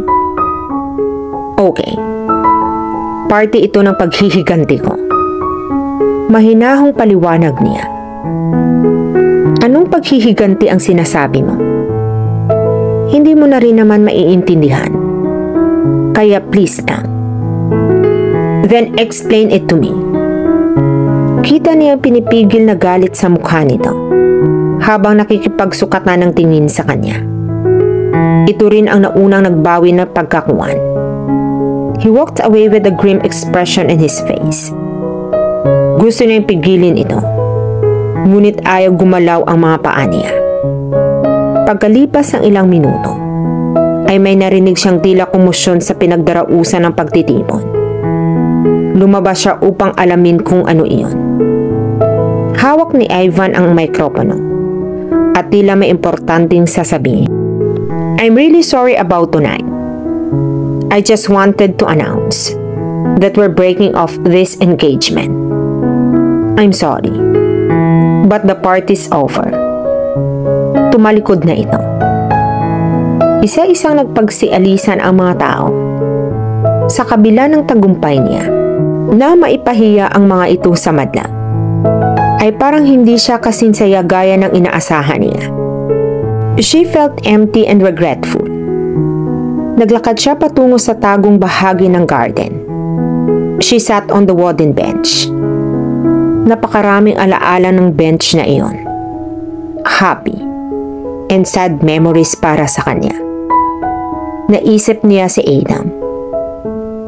Umuwi na kaya ito? Tumayo siya upang hanapin sana ito. Nang matigilan siya nang makitang naglalakad palapit sa kanya si Ivan. Mag-usap tayo. Usal nito. Kumunot ang noo niya. Wala akong alam na dapat natin pag-usapan. I'm sorry for what I did to you before. Pinagsisisihan ko na iyon ng husto, Angelica. I realize now that I still want you. Napailing siya. Tatalikod na sana siya nang pigilan siya nito at yakapin. Akmang itutulak niya ito nang matigilan siya. Nakatitig sa kanila si Adam. Ang mga mata ay punong-puno ng sakit at pagdaramdam. He left her a wounded look Tuluyan na niyang itinulak si Ivan at humabol dito. Adam sandali. Naabutan niya itong pasakay na ng kotse nito. Magpapaliwanag ako sa iyo. Pilit na hinila niya ito. Ngunit tuloy-tuloy ito sa pagpasok sa kotse nito. Pinaharurot nito iyon na tila wala ng bukas. Tumakbo siya papasok sa loob ng kabahayan upang kunin ang susi ng kotse niya. Pagtapat niya sa wine bar, natigilan siya nang makita roon si Leila. Nagtama ang mga paningin nila. Ang inaasahan niyang galit na makikita roon ay wala. Bagkus ang naroon ay pagkatalo at kasawigan. Masaya ka na siguro ngayon, Angelica. Wika nito. Hindi siya sumagot akmang aalis na siya nang muli itong magsalita. Sana, sapat na ang ginawa mo. Sana, tigilan mo na kami. Sana, tumigil ka na sa mga ginagawa mo. Wala ka nang kailangang sirain dahil sirang-sira na kami. Nang umiyak ito, ay lalo siyang natigilan. Sumubsob na ito sa mesang naroon. Nagtatakbo siya palabas ng bahay. Hindi niya gusto ang guilt na nararamdaman niya.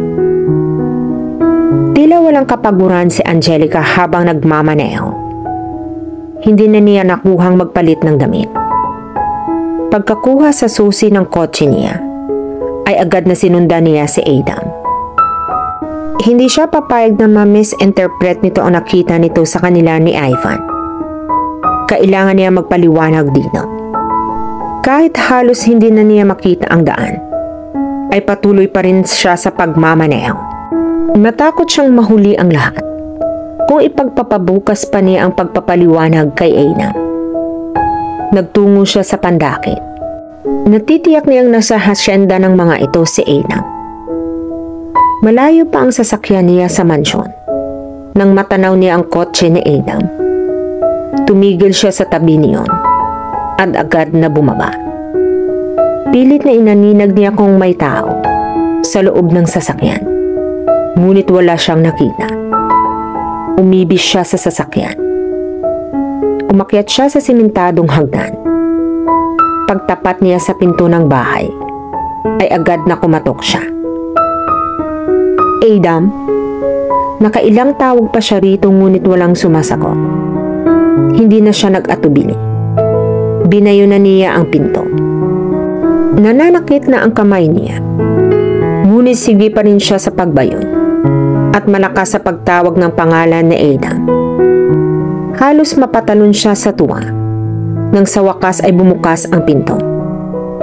Ngunit hindi si Adam ang naroon, kundi ang isa sa mga kapatid nito na natatandaan niyang si Theo ang pangalan. Can I talk to Adam? Please. Kailangan ko siyang makausap. Wala siya rito. Sagot nito. But I saw his car over there. Please. Kailangan ko talaga siyang makausap. Hinilot nito ang sintido. Wait here. Umupo siya sa isang bait ng dahil sa bahagyang nanginginig na ang binti niya. Waiting for Adam. Seems like eternity. Napatayo siya nang biglang bumukas ang pinto. At lumabas si Adam. Gusto niyang haplusin ang mukha nito. He looked so broken. Bukas ang ilang butones ng suot nitong polo. Magulong magulo ang buhok nito. At namumula ang mga mata. Did he cry? Tinangka niyang hawakan ito ngunit itinaas nito ang dalawang kamay upang pigilan siya. What do you want? Naamoy niya ang alak sa hininga nito. He must have been drinking since he arrived. Mag-usap tayo, Adam. Magpapaliwanag ako. She said in an almost begging tone. Wala ka nang dapat ipaliwanag, Angelica. Umalis ka na. Nagunahan sa pagpatak ang mga luha niya. Kinabig siya nito at niyaka. She could have held him too, but she wanted to explain herself. Marahan siyang bumitayo rito at hinawakan ito sa mukha. I want to tell you everything. Tila nahihirapang tumingala ito. Muli siyang umupo sa isang baitang. Huminga siya ng malalim bago nagsalita. Mula nang magkaisip ako, wala nang ibang ginawa ang mga magulang ko, kundi isumbat sa isa't isa. Ang pagsasamang labis na kinamumuhian nila Halos araw-araw nilang ipinaramdam sa akin na kung hindi ako dumating sa buhay nila, ay hindi sana nangyari ang ganoon sa kanila. It was hell growing up with them. That's why I'm happy when they finally decided to separate. Pinahid muna ni ang mga luha na naglanda sa mga pisngi niya. But my nightmares did not end there. Nang maghiwalay ang mga magulang namin, ay napunta kaming magkapatid ko sa mansyon kasama si daddy. My late grandmother did not want us to. Para kaming mga multo ng kapatid ko ng ituring niya. My aunt and my cousins made sure that we will regret every single minute we spent in the mansion. Lalong-lalo na ako. Lumaki akong hindi ko alam kung ano ang pag-ibig. Ang salitang pagmamahal. And Ivan was the first person who showed me that that I am important. I'm almost believe him.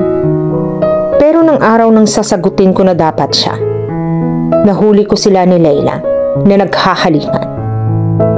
Doon ako nagsimulang mamuhi ng gusto sa kanilang lahat.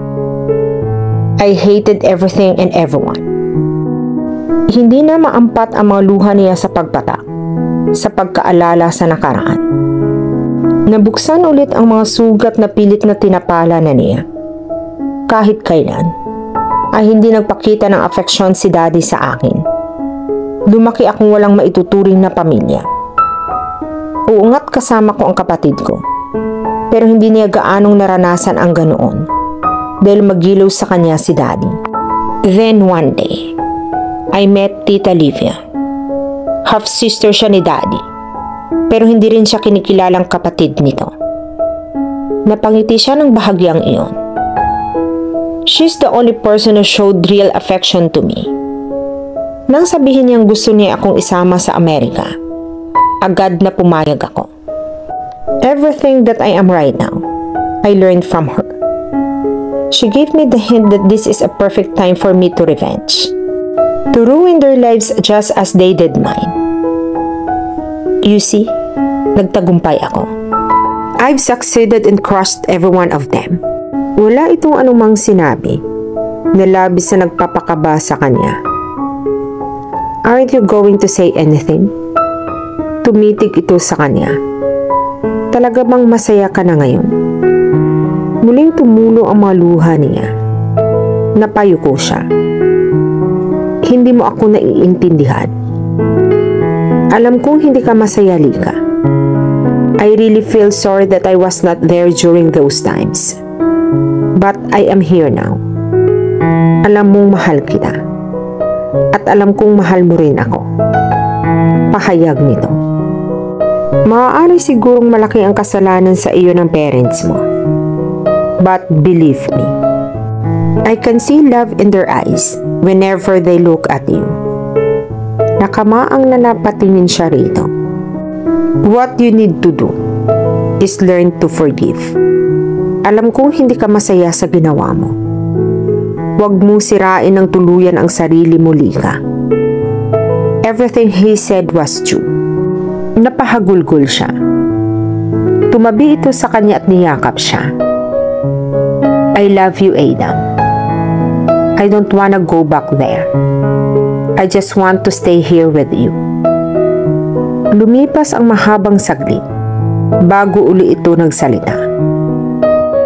I want to be with you too. But you need to face this. You need to set yourself free. Hinuli nito ang mga mata niya. You're a brave girl. Palayain mo ang sarili mo. Forgive them. Nandito lang ako. Hihintayin kita. Kahit gaano pa katagal.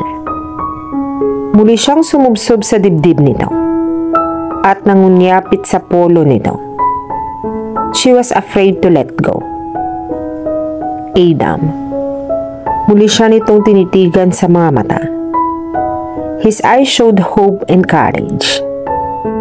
Hinalikan siya nito ng mariin sa sintido bago siya inilayo sa sarili nito.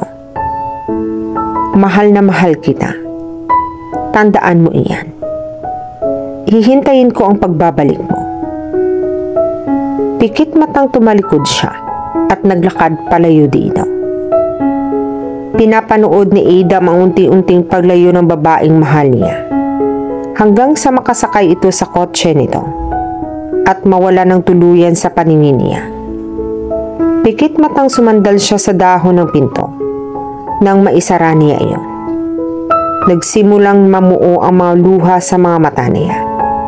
Pagmulat niya, ay naroon ang kuya Theo niya Humakbang siya at ibinagsak ng paupo ang sarili sa mahabang sofa. Pasabunot na hinawakan niya ang buhok niya. Tumabi ito sa kanya. Mahal mo ba siya? Seryosong tanong nito. More than my life. Hindi pa rin maampat ang mga luha ni Angelica hanggang sa makarating siya sa bahay ng kanyang mama. Eksaktong pagsara niya ng pinto, ay napahagulgul siya.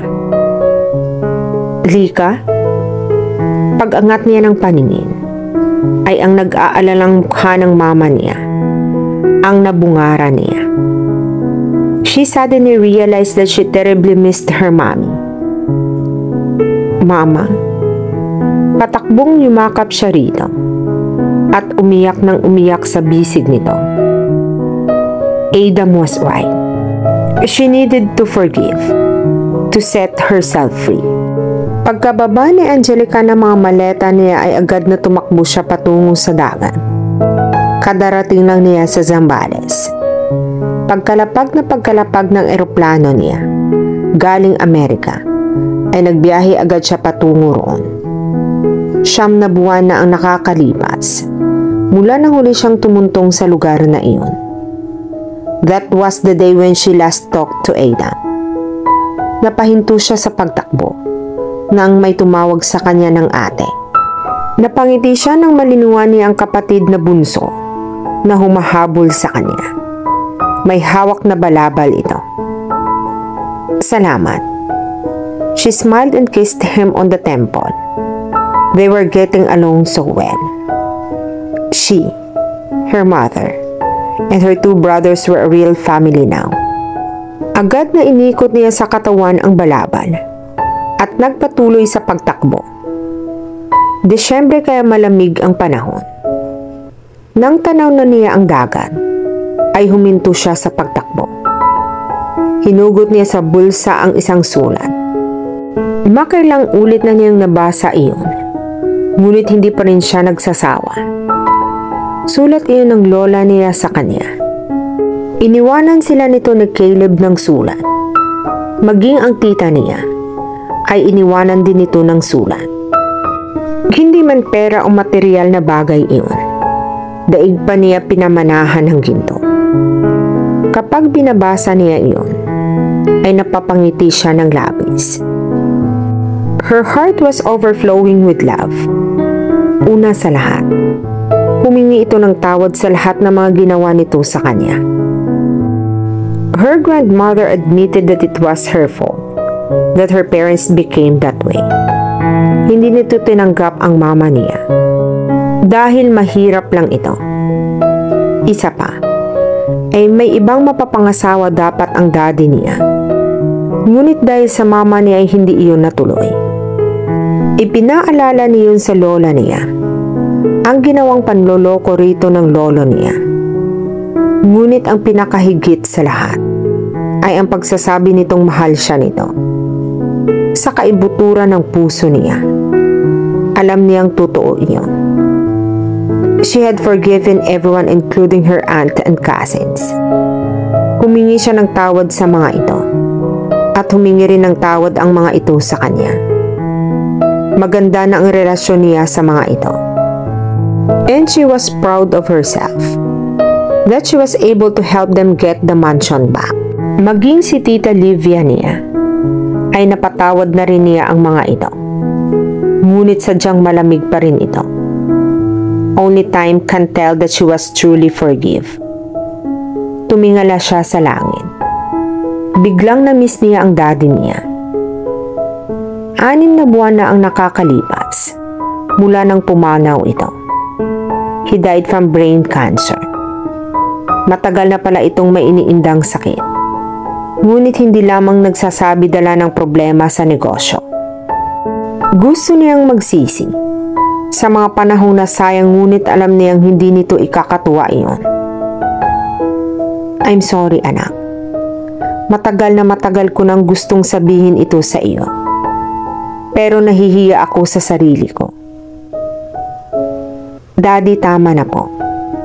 Hindi ako galit sa inyo. Sunod-sunod na tumulo ang mga luha niya sa kalagayan nito. He was lying on the hospital bed, looking so pale and weak. Tell your mother I am very sorry. Hinawakan niya ng mahigpit ang kamay nito. Kung may pagkakataon lang sana, para makabawi ako sa mga pagkukulang ko. Tama na, Daddy. Naghahalo ang pawis at luha niya sa labis na tensyon. Mahal na mahal kita anak. Kayo ng kapatid mo. Kayo ang pinakamagandang nangyari sa buhay ko.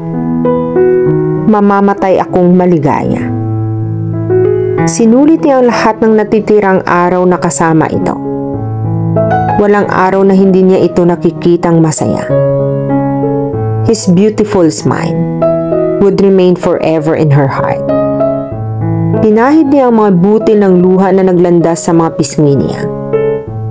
Nakangiting ipinagpatuloy niya ang paglalakad. Lalong lumawak ang ngiti niya. Nang makita niya kung sino ang nakaupo sa batuhan. Nakatanaw ito sa dagat, kaya hindi siya nito napansin. Patakbo siya palapit dito. Hey handsome, pukaw niya rito. Agad na napalingon ito sa kanya. Tila nababato-balaning napatayo ito. Her eyes roamed hungrily over his frame while he did the same to her. Pagkatapos na ilang sandali, ay tumalon ito mula sa batuhan. Lumakad ito papalapit sa kanya at nag-iwan ng ilang pulgadang pagitan. Why took you so long, love? He asked softly. Marami akong tinapos para wala ng istorbo sa atin. She smiled widely. Bumubukal ang labis sa pagmamahal sa puso niya para sa lalaking ito. That's good. Tumitig ito sa mga mata niya. Kapag Juan ay gumuhit ang isang napakagandang ngiti sa mga labi nito. Hinaplos nito ang kanang pisngi niya. Your eyes are brighter than the rays of the sun. Lalo siyang napangiti. Forgive me? Umangat ang isang sulok ng mga labi nito at tumaas ang isang kilay. For what? For not coming back sooner? She answered. Tumawa ito ng malakas. Kung ganoon ay may parusa ka.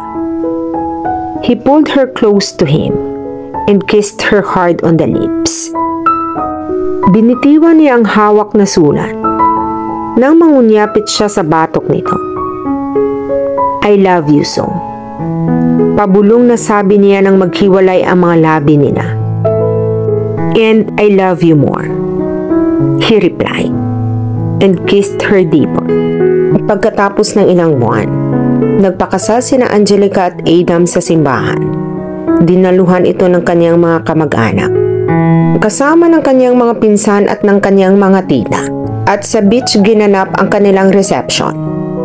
Sa ngayon, masayang namumuhay sina Angelica at Adam sa simpleng buhay na puno ng pagmamahal.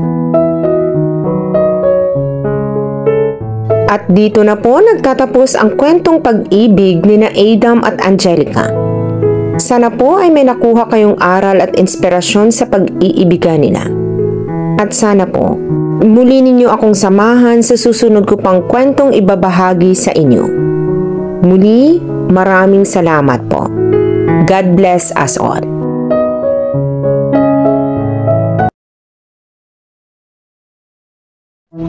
Thank you. Thank you.